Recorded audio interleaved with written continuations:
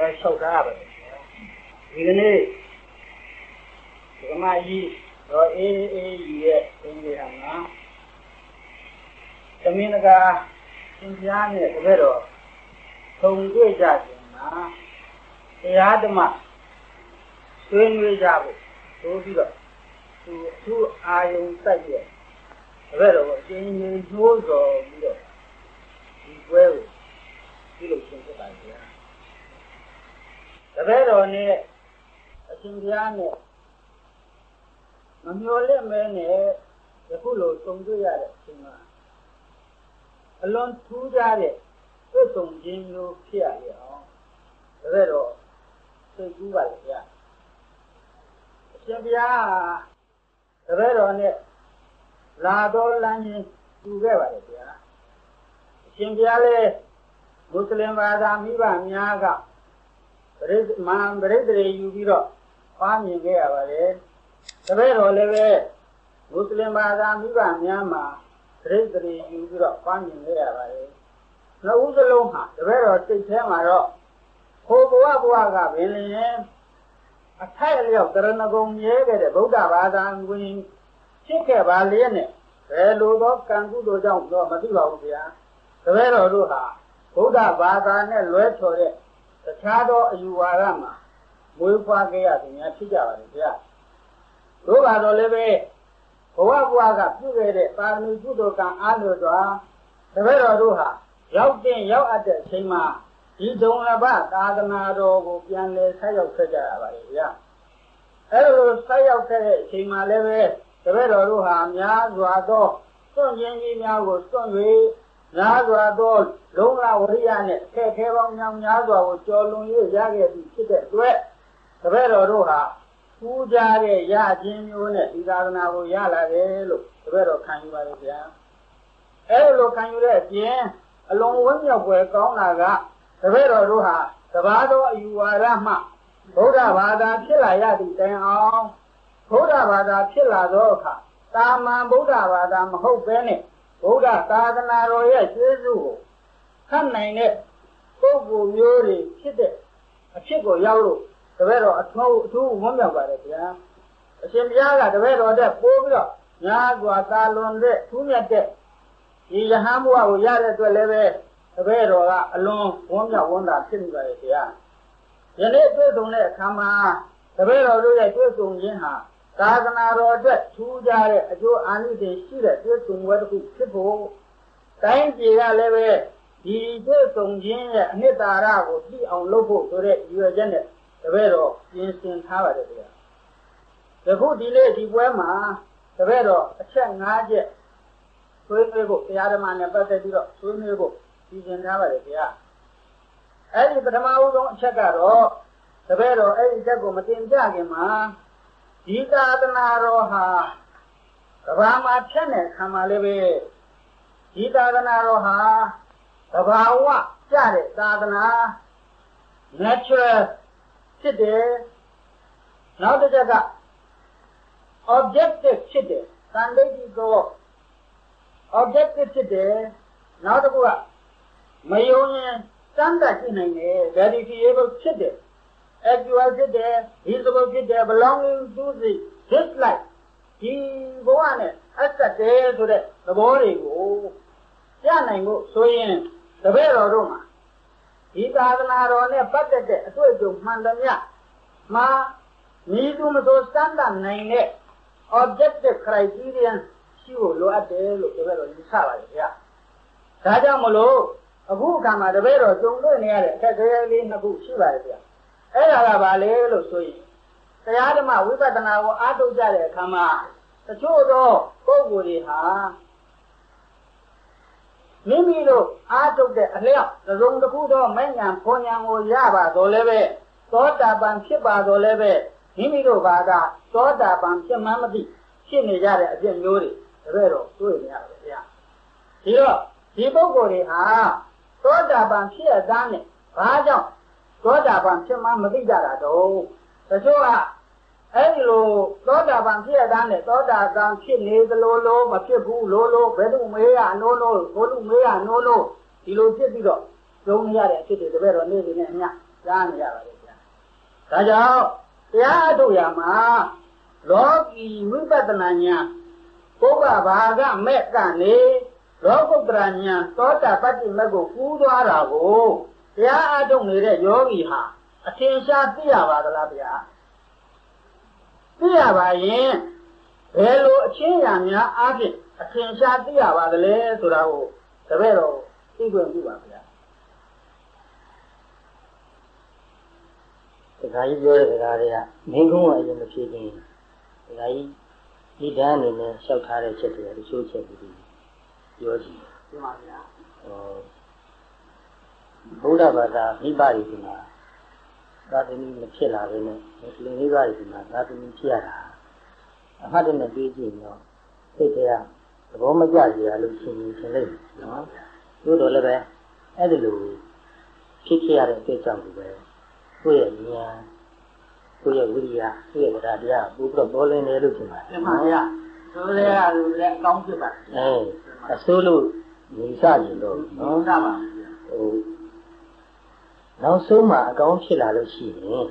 ရှိကဖြစ်ခဲ့တာမှန်မြန်အားလုံးဟာဒီအကောင်းဖြစ်ဖို့ရအထောက်ပံ့ပဲလို့ဘယ်လိုပဲယူဆကြည့်နော်ကိုအတိတ်ကဖြစ်ခဲ့တာတွေကိုပြန်တွေးပြီးတော့သိပြချင်တာကြီးချင်းဆိုတာ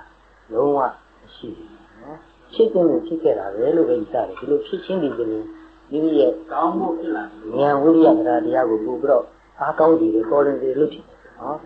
လူတဘာဝလွယ်လွယ်နဲ့ရရင် သိတံမှုထားတတ်ကြတယ်နော်တမတန်ခက်ခက်ခဲခဲရမှာပုဂ္ဂတံမှုထားတယ်ပြီးတော့ဟာဆန့်ကျင်ဘက်ဖြစ်နေတဲ့အယူဆဘာသာတရားတွေမှာနေရပြီးမှအဲ့ဒီဆန့်ကျင်ဘက်ကိုအမတန်ခက်ခက်ခဲခဲကျော်လွှားလိုက်ရတဲ့အတွက်ကြောင့်အဲ့ဒီကျော်လွှားပြီးမှရလာတဲ့အပညာရဲ့ဟိုအင်အားတတ်တည်ကိုလည်းပို့ပြီးသိရတယ်ငကူတော့ကတရားတရားရှိနေပြီလားဆိုတော့ဗောလေဒီလိုဖလာဗုဒ္ဓဘာသာတရားတရားတရားရှိနေပြီလားဆိုရင် သူ့မှာကြော်လွှားစရာခက်ခဲရနေနေနေနေနေတဲ့အတွက်ကြောင့်မိမိမှာရှိနေတဲ့အင်အားကိုထုတ်ဖော်ခွင့်မရဘူးအဲ့တော့အင်အားဆိုတာအခက်ခဲရှိမှပို့ပြီးတော့ထုတ်ခွင့်ရတယ်ထုတ်မှလည်းပို့ပြီးတော့ထွက်ပါတယ်နော်အဲ့တော့ပို့ပြီးတော့တတ်သိရှိတယ်အခက်ခဲနဲ့ကြော်လွှားပြီးဖြစ်ပေါ်လာတဲ့တရားတရားလည်းပို့ပြီးတော့အားထုတ်ပါတယ်နော်ဒါကြောင့်ဒီချက်နဲ့ပတ်သက်ပြီးတော့လုံးဝစိတ်မကောင်းနေတာလို့လုံးဝမထင်ဘူး။ဒကာကြီးလည်းဘယ်လိုပဲခံစားလိမ့်မယ်လို့ထင်ပါတယ်နော်။ ဆင်းရဲသဘာဝကဒီဇုံတစ်ခုကိုပမိုင်နေသိသွားလို့ရှိရင်ဒီသိသွားပြီးသားအကြောင်းအရာသူ့ဉာဏ်နဲ့နိုင်သွားပြီးတဲ့ဖြစ်တဲ့ကြောင့်စိတ်ကဒီတစ်ဆင့်တက်ပြီးလှမ်းပြီးအာရုံပြုလို့ရှိတယ်။သိပြီးသားကိုထားခဲ့ရတဲ့သဘောရှိပါတယ်။ဒီသဘာဝတရားမှာဖြစ်ပေါ်နေတာရဲ့နည်းနည်းမှုနဲ့ကိုယ့်ရဲ့အသိဉာဏ်နဲ့တန်လို့ရှိရင်တန်တဲ့လောက်ကိုသိတယ် ဥပမာခတ်ကျဉ်းကျဉ်းပြောရမယ်ဆိုရင်အခုဒီ radio receiver ရှိတယ်သူ့မှာကျင်းလောက်ထားရင် frequency တစ်ခုရှိတယ်လွှင့်နေတဲ့နေရာ station ကလည်းပဲ frequency တွေလွှင့်နေတာရှိတယ် station တွေအများကြီးရှိတယ်ကိုကျင်းလောက်ထားတဲ့ receiver ရဲ့ frequency ဟာလွှင့်နေတဲ့ radio က station က frequency နဲ့တူလို့ရှိတယ်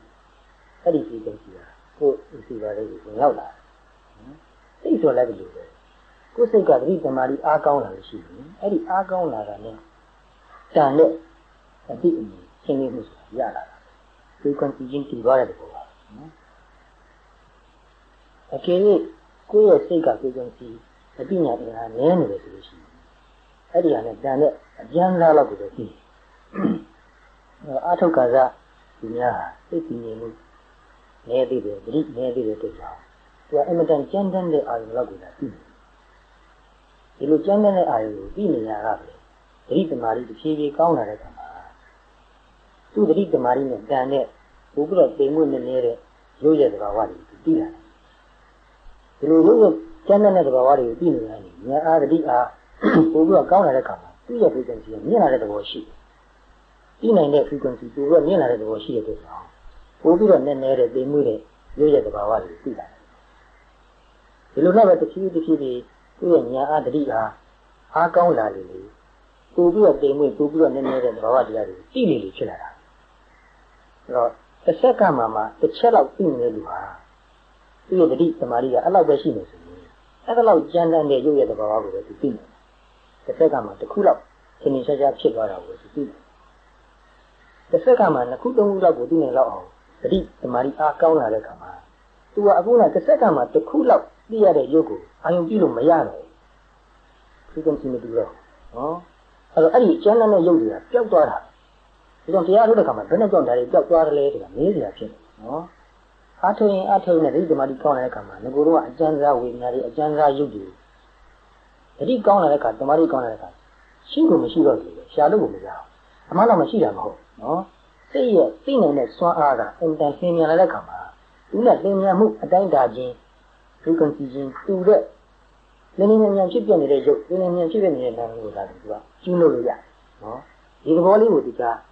သဘောပေါက်စေတာဘယ်လိုကြောင့်ဒီလိုဖြစ်သွားတယ်ဆိုတာလေးတွေခဏခဏမေးကြတာအဲ့တော့အဲ့ဒီလိုစိတ်ရဲ့သိနိုင်တဲ့အင်အားကမြန်လာလေးလေးသူကမြန်တဲ့ရုပ်ရဲ့ဖြစ်ချင်းဖြစ်ချင်းတွေကိုသိလာတယ်လင်းမြန်တဲ့ဝေဒနာရဲ့ဖြစ်ချင်းဖြစ်ချင်းသဘောလေးကိုသိလာတယ်အဲ့လိုခါမှာ vibration တွေ wave တွေသဘောမျိုးခံစားရတယ်ကျဉ်းကျဉ်းတန်းသဘောမျိုးမဟုတ်တော့ဘူး ဒီလိုနဲ့ပဲစိတ်ကိုကြည့်လိုက်ရင်လည်းစိတ်ထမှာဖြစ်နေတဲ့အစတော့သူနဲ့တန်တဲ့တန်ယုံလောက်ရှင်မြန်တဲ့စိတ်ရဲ့သဘာဝတွေကိုမြင်နေဒီလိုဒီလိုနဲ့ဉာဏ်အားပြလာတဲ့ခါမှာဉာဏ်အားနဲ့တန်တဲ့အင်တာရှင်မြန်တဲ့စိတ်ရဲ့ဖြစ်ချင်းဖြစ်ချင်းသဘောတွေကိုမြင်နေတာအဲတရားထုတ်တာမှာရုပ်ရဲ့သဘာဝကိုရောနာမ်ရဲ့သဘာဝကို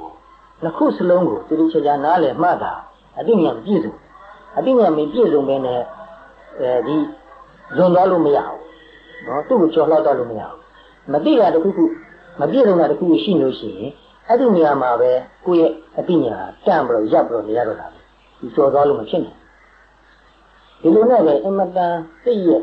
သင်ညာမှုကမြန်လာတဲ့ခါမှာအလွန်အလွန်သင်ညာနဲ့ရုပ်ရဲ့သဘာဝတွေနာရဲ့သဘာဝတွေတိတိတိတိတော့သွားပြီးတော့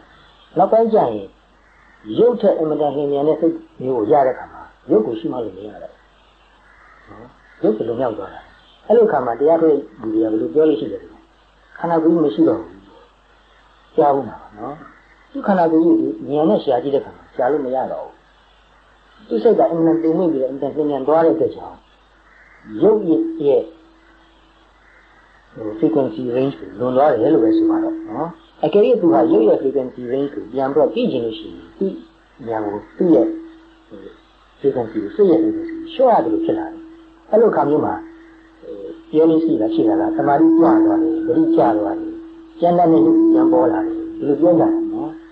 ဒီလိုနဲ့ပဲအမှန်တိမ်မှုတဲ့စိတ်ရဲ့ဖြစ်ချင်းပြချင်းသဘောတွေကကြည့်ရင်တော့ကြွားတဲ့ခါမှာနောက်ဆုံးသူ့ရဲ့စိတ်အင်အားကအမှန်တန်ပြည့်လာတဲ့ခါမှာဒီစိတ်ရဲ့ဖြစ်ချင်းပြချင်းသဘောကလွန်သွားနိုင်တယ်သိတဲ့ညာနော်အဲ့လိုခါမှာမဖြစ်ချင်းမပြချင်းဆိုတဲ့သဘောကအာရုံပြုလို့ရတယ် တာမန်အဖြစ်မဖြစ်ချင်းမပြည့်ချင်းဆိုတဲ့သဘောကိုစဉ်းစားလို့ပဲရတယ်ပြောလို့ပဲရတယ်အာရုံပြုလို့မရဘူးနော်အဲ့တော့အမတန်တတိပမာတိကောင်းလို့စိတ်ကအလုံးစုံတင်နေတဲ့ခါမှာအလုံးလင်းမြန်နေမှုတဲ့ရုပ်ရဖြစ်ချင်းပြည့်ချင်းစိတ်ရဖြစ်ချင်းပြည့်ချင်းတွေပြီးပြီးတော့လွန်သွားတဲ့ခါမှာမှမဖြစ်ချင်းမပြည့်ချင်းဆိုတဲ့သဘောကိုသိနေပါတယ်အဲ့တော့မဖြစ်ချင်းမပြည့်ချင်းသဘောကိုသိနေတဲ့ခါမှာစိတ်ကအာရုံရဲ့သဘာဝကိုလိုက်တဲ့အတွက်ကြောင့် တခါတလေသူတို့ပြောလို့ရှိတာကအဲ့ဒီအချိန်မှာဘာမှမသိတော့ဘူးလို့ပြောတယ်နော်မဖြစ်ချင်းမပြည့်ချင်းဆိုတဲ့သဘောကသူ့ရဲ့လက္ခဏာကိုပေါ်ပြရမှာအတန်ဆက်တာကိုဖြစ်ချင်းပြည့်ချင်းဆိုတဲ့လက္ခဏာမှမရှိမှမရှိတော့ဘူးနော်အဲ့တော့မဖြစ်ချင်းမပြည့်ချင်းဆိုတဲ့သဘောကိုအာရုံပြုတဲ့အခါမှာဘာမှမသိဘူးလို့ဖြစ်သွားတယ်ရုပ်နာချုပ်သွားတယ်ဒီလိုပြောကြတယ်နော်အမှန်တော့ရုပ်နာကချုပ်သွားတာမဟုတ်ဘူးနော်ရုပ်ပြနာတရားတွေကသူ့အကြောင်းကျိုးနဲ့သူ့ဟာသူရှင်းနေတာပဲဒီခန္ဓာ၅ပါးကတော့နော် ဣဇ္ဇတာမှာလည်းပဲဖြစ်နေတာပဲဗဟိတမှာလည်းပဲဖြစ်နေတာပါပဲတို့တော့တတိတမာရိဉာဏ်အားကအင်တန်ညင့်သွားတဲ့ခါမှာသူတို့ကအာရုံပြုလို့မရတော့ဘူးမရတော့ဘဲနဲ့မဖြစ်ချင်းမပြည့်ချင်းဆိုတဲ့ငြင်းဤတဲ့သဘောကိုဉာဏ်ကအသိသွားတာဉာဏ်နဲ့အဲ့ဒီရှင်ကျမှတန်တဲ့သဘောရှိတာအဲ့တော့ဉာဏ်နဲ့တန်တာကိုပဲသိလို့ရတယ်မတန်တာကိုသိလို့မရဘူးတစ်ဆင့်ပြောရင်နားထောင်တယ်စဉ်းစားတယ်တွေးတယ်လောက်လည်းရရတယ်ဒါကရင်ပြုလို့မရဘူးဟုတ် မဖြစ်ချင်းမပြည့်ချင်းသဘောကြောင့်ငြင်းဤတဲ့သဘောကိုသိတဲ့သူဟာနောက်အဲ့ဒီမဖြစ်ချင်းမပြည့်ချင်းဆိုတဲ့သဘောကိုအာယုံမပြုတ်တော့တဲ့အချိန်မှာနော်သူအဲ့ဒါကိုပြန်ပြီးတော့ဆင်ခြင်သုံးသပ်လို့ရတယ်အဲ့ဒီဆင်ခြင်သုံးသပ်တဲ့အချိန်မှာတော့သူကဓာတ်ရိုက်သိနေတာမဟုတ်ဘူးနော်အဲအဲ့ဒါပေါ့ပြန်ပြန်ပြန်သုံးသပ်တဲ့သဘောပဲရှိပါတယ်နော်အဲ့ဒီအချိန်မှာပြန်သုံးသပ်ရင်လည်းဘာဘူးပဲမြင်နိုင်မလဲဆိုတော့ယုံနာသဘောလိုဖြစ်ချင်းပြည့်ချင်းတဲ့ဘာဝကိုသူမမြင်နိုင်ဘူးနော် မဖြစ်ချင်းမပြည့်ချင်းကြောင့်ငြင်းအေးတဲ့သဘောကိုပဲမြင်တယ်အဲ့တော့အဲ့ဒီလိုမဖြစ်ချင်းမပြည့်ချင်းကြောင့်ငြင်းအေးတဲ့သဘောကိုဉာဏ်နဲ့သိပြီးသားသူဟာပြန်ပြန်ပြီးတော့ဒါဒီသဘောကိုရောက်နေအောင်သိနေအောင်လုပ်လို့ရတယ်လုပ်လို့ရတယ်ဆိုတာလည်းပဲလုပ်ချင်တဲ့ရတာတော့မဟုတ်ဘူးနော်အခုနပြောသလိုပဲတတိတမာတိညာအားရော့သွားရင်သူအဲ့ဒါကိုပြန်ကျင်းလို့လို့မရဘူးနော် အဲ့တော့တတိတမာတိညာအားကိုပို့ပြီးတိမ်မွေ့လာအောင်သူ့ရဲ့ရိုးရိုးရုပ်ပိုင်းဥပမာနဲ့ပြောမယ်ဆိုရင်စိတ်ရဲ့ frequency ကိုပို့ပြီးမြင့်လာအောင်လုပ်ရတယ်ဘုန်းကြီးကဒီ frequency ဆိုတဲ့စကားကိုသုံးတာလေကိုယ်တိုင်ကလည်းအရင်က electrical engineer ဖြစ်ပါတယ်နော်အဲ့တော့ဒီပညာရပ်တွေကိုစိတ်ဝင်စားမှုကရှိနေတယ်ဒါနဲ့ပတ်သက်တဲ့ဥပမာလေးတွေကိုလည်းပဲစိတ်ထဲကကိုယ့်အကူသဘောကျတာပါနော်ဒါကြောင့်ထည့်သွင်းရခြင်းဖြစ်တယ်ဒီဥပမာရဲ့အဓိပ္ပာယ်ကိုသဘောမပေါက်တဲ့လူဆိုရင်တော့နည်းနည်းနားလည်ဖို့ရခက်ချင်ခက်နော် သို့တော့ကိုနားလည်လို့စဉ်းစားပြီးတော့ပြောရတာဆိုတော့ဒီဥပမာလေးကိုကိုယ့်အကူကတော့တဘာဝတော်တော်ကြားတယ်လို့ပဲထင်နေတာနော်စိတ်အားတန်လာတဲ့ခါမှာသူ့တဘာဝကိုမြင်တာပဲနော်အဲ့တော့ပထမတစ်ခါမှာစိတ်ရဲ့ balance လေးကိုရတော့လို့ဒီလိုမဖြစ်ချင်းမပြည့်ချင်းသဘောငြင်းအေးတဲ့သဘောကိုသိပြီးတဲ့သူပါနောက်ခါမှာပြန်ပြီးတော့ဒါကိုသိကျင်နေတယ်ရုပ်တရက်သူမသိနိုင်နော်တချို့ကအဲ့ဒါကိုပြန်သိရအောင်မလုပ်ရမယ်ဆိုတာလဲ သဘောမပေါက်လို့ရှိရင်အခက်အခဲအများကြီးရှိတယ်သူ့ကိုသိကျင်တိုင်းချက်ချင်းပြန်ကျင်းလို့လို့မရနိုင်ဘူးသိကျင်လို့ရှိရင်ငကိုယ်တော့ကလုပ်တဲ့ရုပ်ရဲ့သဘာဝနာရဲ့သဘာဝကိုပြန်ရှုမှတ်ရတယ်ဒီလိုရှုမှတ်ရင်ရှုမှတ်ရင်နဲ့ရုပ်ရဲ့သဘာဝနာရဲ့သဘာဝကိုရှင်းရှင်းလင်းလင်းသိရင်းကနေဉာဏ်အားတစ်ဖြည်းဖြည်းတက်လာတဲ့အခါနော်တမာရိကတစ်ဖြည်းဖြည်းတက်လာတဲ့အခါသတိကတစ်ဖြည်းဖြည်းတက်လာတဲ့အခါမှာသူ့ယုံနိုင်ရဲ့ရှင်းချင်းပြည့်ချင်းတဘာဝကိုမှီပြီးတော့လွန်နေတဲ့အဆင့်ကိုရောက်လို့ရှိရင် မဖြစ်ချင်းမဖြစ်မဖြစ်ချင်းတဘောကိုပြန်ပြီးတော့သိလို့ရတယ်အဲ့ဒါလို့ခဏခဏသိလို့ရတဲ့ပုဂ္ဂိုလ်ဆိုရင်တော့ဘဟုတ္တလည်းရှိတယ်ကြားဘူးလေဆိုရင်သူကဒီလိုသဘောဟာဒါယုံနိုင်ရဲ့တဘာဝကိုလုံမြောက်ပြီးတော့ရင်းအေးချင်းတဘောကိုသိတဲ့တဘာဝပဲလို့သူကသူပြောနိုင်နော်ပြန်ပြီးတော့ရောက်အောင်မတော်နိုင်တဲ့သူဆိုရင်တော့သူငကိုယ်တော့ကတိလိုက်တဲ့အချိန်ကာလကလည်းအမြဲတမ်းတူတူတောင်းမယ်ဒါကိုအချင်းချင်းဖန်ဖန်ပြန်တိလို့မရတဲ့ကြောင့်တုံးတက်တဲ့ခါမှလည်းပဲဟော သူ့ရဲ့တဘာဝကိုပမန်နေနေဆုပ်ကင်မိဖို့မလွယ်ဘူးဆိုရင်ပြန်ပြီးတော့အချင်းချင်းတရားကိုပဲအထုတ်ပါလို့ပြောတာနော်တိုက်ရိုက်သူ့စီကိုချက်ချင်းသွားလို့မရနိုင်ဘူးသတိချခြင်းလို့ပြန်အားပြအောင်လို့ပြန်အားပြအောင်လုပ်ရမယ်ဟုတ်ပြီအဲ့ဒီပုံမှန်တော့ကောင်းပါတယ်နော်အဲ့တော့ဒီလိုကြုံမှုတဲ့သူကစာပေဘဟုတအမတန်ကျေရတဲ့လူဆိုရင်လည်းပဲစာပေထဲမှာဘုရားဟောထဲမှာရှိတာတွေနဲ့ညှိပြီးတော့ ဒီတဘာဝဟာဖြစ်ချင်းပြည့်ချင်းရှိတဲ့တဘာဝပဲလို့ဒီလိုသုံးဖြတ်နိုင်တယ်နော်ဘုမဟုတ်ရင်လည်းပဲမိမိနဲ့ရင်းနှီးကုမှုလေးလေးလျှောက်ထားလို့ရတဲ့ဆရာရင်းကိုဖွင့်ပြောတင်တယ်ဖွင့်ပြောလို့ရှိရင်ဆရာရင်းကလည်းပဲဟုတ်ရင်ဟုတ်တဲ့အကြောင်းသုံးဖြတ်ပေးနေတယ်နော်တခါတလေတရားထုတ်တယ်မှာညာအားမပြီးဘဲနဲ့ဘာမှမသိလို့ဖြစ်သွားတာမျိုးတွေရှိတယ်နော်အိပ်ပျော်တယ်လို့မိတ်သွားတယ်လို့တချို့ တရားထုတ်တဲ့အခါမှာတွေ့ရတဲ့အခြေအနေတွေဟာ hypnotize လုပ်ထားတဲ့အခါမှာဖြစ်တဲ့အခြေအနေတွေနဲ့အင်မတန်တူးနေတယ်ဟုတ်တယ်နော် self hypnosis နဲ့တူးနေတာနော်အဲ့လိုခါမျိုးမှာထင်အောင်ထင်မှားဖြစ်တတ်တယ်အဲ့တော့ဒီလိုနီးစပ်တယ်လို့ဖြစ်နေတဲ့သဘာဝတွေကိုခွဲခြားတဲ့အခါမှာအခုနလိုပဲယုံနိုင်ရဲ့သဘောသဘာဝဖြစ်ပုံကိုရှင်းရှင်းလင်းလင်းပြပြတတ်တာသိမှုရှိမရှိဆိုတာနဲ့ပြန်ပြီးတော့သိရတာ ယုံနိုင်ရဲ့ဖြစ်ချင်းဖြစ်ချင်းသဘာဝကိုသိချာမသိသေးဘဲနဲ့ဘယ်လိုဖြစ်လိုက်မှမသိဘူးနဲ့မိတ်သွားတယ်ဆိုတာမျိုးဆိုရင်တော့ဒါပြန်လုပ်ပါနော်စိတ်မပြတ်ပါနဲ့အတူလို့အတူလားစိတ်လားမဝင်ခွက်တတ်ရင်ပြန်ကြိုးစားပါနော်အစ်စ်ဖြစ်နေလည်းပဲဒါပြန်လုပ်ပြန်ကြိုးစားခြင်းအပြင်အရှုံးမရှိဘူးအစ်စ်မဟုတ်လို့အတူဖြစ်နေလည်းပဲကြိုးစားခြင်းအပြင်အရှုံးမရှိဘူးနော်တကယ်ရိုးရိုးသားသားတရားတရားကောင်းကောင်းဝိရိယကောင်းကောင်းနဲ့ကြိုးစားလို့ရှိရင်ရောက်သွားနေတာပါပဲနော် နောက်တစ်ခုကဒီဖြစ်ချင်းပြချင်းမရှိလို့ငြိမ်းအေးတဲ့သဘောကိုနည်းနည်းသဘောတွေ့သွားတဲ့ပုဂ္ဂိုလ်သိသွားတဲ့ပုဂ္ဂိုလ်ဟာသူ့ရဲ့ personality နည်းနည်းပြောင်းသွားတယ်နော်အဲ့တော့ personality ပြောင်းသွားတာမှာအာတခါကြီးလို့ကြားဘူးတဲ့စာပေတွေကလည်းရှိမှာပါနော်သူကတိလကိုတော်တော်ခိုင်ခိုင်မြဲမြဲထိမ့်သိမ့်နေတယ်ဖြစ်လာတယ်သိ honest ဖြစ်လာတယ်အင်မတန် honest ဖြစ်တယ်အင်မတန်ရိုးသားလာတယ်မိမိရဲ့ အမှန်မိမိရဲ့ချွေးရင်းချက်ကိုလည်းပဲဖုံးကွယ်ဖို့မကြိုးစားဘူးဝန်ခါမှလည်းဝင်မလေးဘူးအဲ့လိုဖြစ်လာတာနော်ဘုရားတရားတန်ခါရဏသုံးပါးပေါ်မှာလည်းပဲအမတန်ခိုင်မြဲတဲ့ယုံကြည်မှုစိတ်ချောင်းဖြစ်လာတယ်နော်ငါးပါးဒီကမြဲတယ်ဒနာသုံးပါးပေါ်မှာအင်တာယုံကြည်ယုံကြည်တဲ့စိတ်ရှိတယ်နော်အဲ့တော့ဒီသဘာဝကိုသိသွားတဲ့ပုဂ္ဂိုလ်ရဲ့တရားတရားဟာဉာဏ်ကောင်းတဲ့လူတယောက်ကလာပြီးတော့လှည့်စားရုံနဲ့ဒီနည်းနဲ့မှပြတ်မသွားနိုင်နော် ဒီအနိစ္စသဘောအနတ္တသဘောကိုကိုယ်တိုင်ဉာဏ်နဲ့သိသွားတယ်ရုပ်တရားနဲ့တရားတွေမဖြစ်ချင်းကြောင့်မပြတ်တော့လို့နော်ချုပ်ငိမ့်နေတဲ့ငြိမ်းချမ်းရေးသဘောမျိုးကိုငြိမ်းချမ်းတဲ့သဘောမျိုးကိုလည်းသိသွားတဲ့ကြောင့်ဒီထက်သာလုံးတဲ့အရာရှိတယ်လို့လည်းမထင်တော့ဘူးဒီကတော့တနည်းနည်းအားဖြင့်ဘုံဘဝဌာနတစ်ခုခုမှာအင်တန်ချမ်းသာတဲ့ဘဝမျိုးရှိတယ်အဲ့ဒီချမ်းသာတဲ့ဘဝမျိုးဆိုတာဟာအော်အထွတ်အထိပ်အမောမြတ်ဆုံးဖြစ်တယ်လို့ပြောရင်လည်းလက်ခံမှာမဟုတ်တော့နော်ဒီနိဗ္ဗာန်ရဲ့ငြိမ်းအေးခြင်းသဘောကိုသိတဲ့သူဟာ တန်တရားမှာဘလောက်ပဲချမ်းသာတယ်ပြောပြောသူ့အနေနဲ့ဒါကိုအမြင့်ဆုံးချမ်းသာလို့ယူဆတော့နော်မခံစားရဘူးလို့မဆိုလို့ဘူးနော်မခံစားရဘူးလို့မဆိုလို့ဘူးခံစားရင်ခံစားတော့လည်းပဲဒါဟာအမြင့်ဒါဆုံးလို့ယူဆတော့နော်အဲ့ဒါကြောင့်အဲ့ဒီလိုမဖြစ်ချင်းမပြည့်ချင်းငြိမ်းအေးခြင်းသဘောကိုသိရှိနိုင်တဲ့လူခံစားနိုင်တဲ့လူဟာတခြားကာမဂုဏ်အာယုံသိနေချမ်းသာတွေကိုခံစားပင်ခံစားတော်လည်းပဲ ဒီကာမဂုဏ်အာယုံသိနေချမ်းသာတွေကိုခံစားဖို့အရေးနဲ့ပတ်သက်တော့လုံလုံမင်းမင်းကြောက်ကြတဲ့နေရှိကောင်းရေတတအေးအေးစီစီသူ့အတူအခုတော့မဖြစ်တဲ့နော်ရရှိလာလို့ရှိရင်အထက်လျော့ပဲခံစားအောင်ပါဒီတစ်ထက်မှကြံသေးတာဟုတ်အဲ့ဒါလို့ခံစားပင်ခံစားတော့လည်းပဲဒါအမြင့်မြတ်ဆုံးလို့ယူဆတော့နောက်တစ်ခုထူးထူးခြားခြားပြောနေတယ်ကိုယ့်ကိုသိနေတဲ့အချက်ချက်ပြောရမယ်ဆို အထူးသဖြင့်တရားထုတ်လာတဲ့လူတွေဟာဘဝတန်တရားကိုနားလေသဘောပေါက်တယ်နော်တချို့အနောက်နိုင်ငံမှာ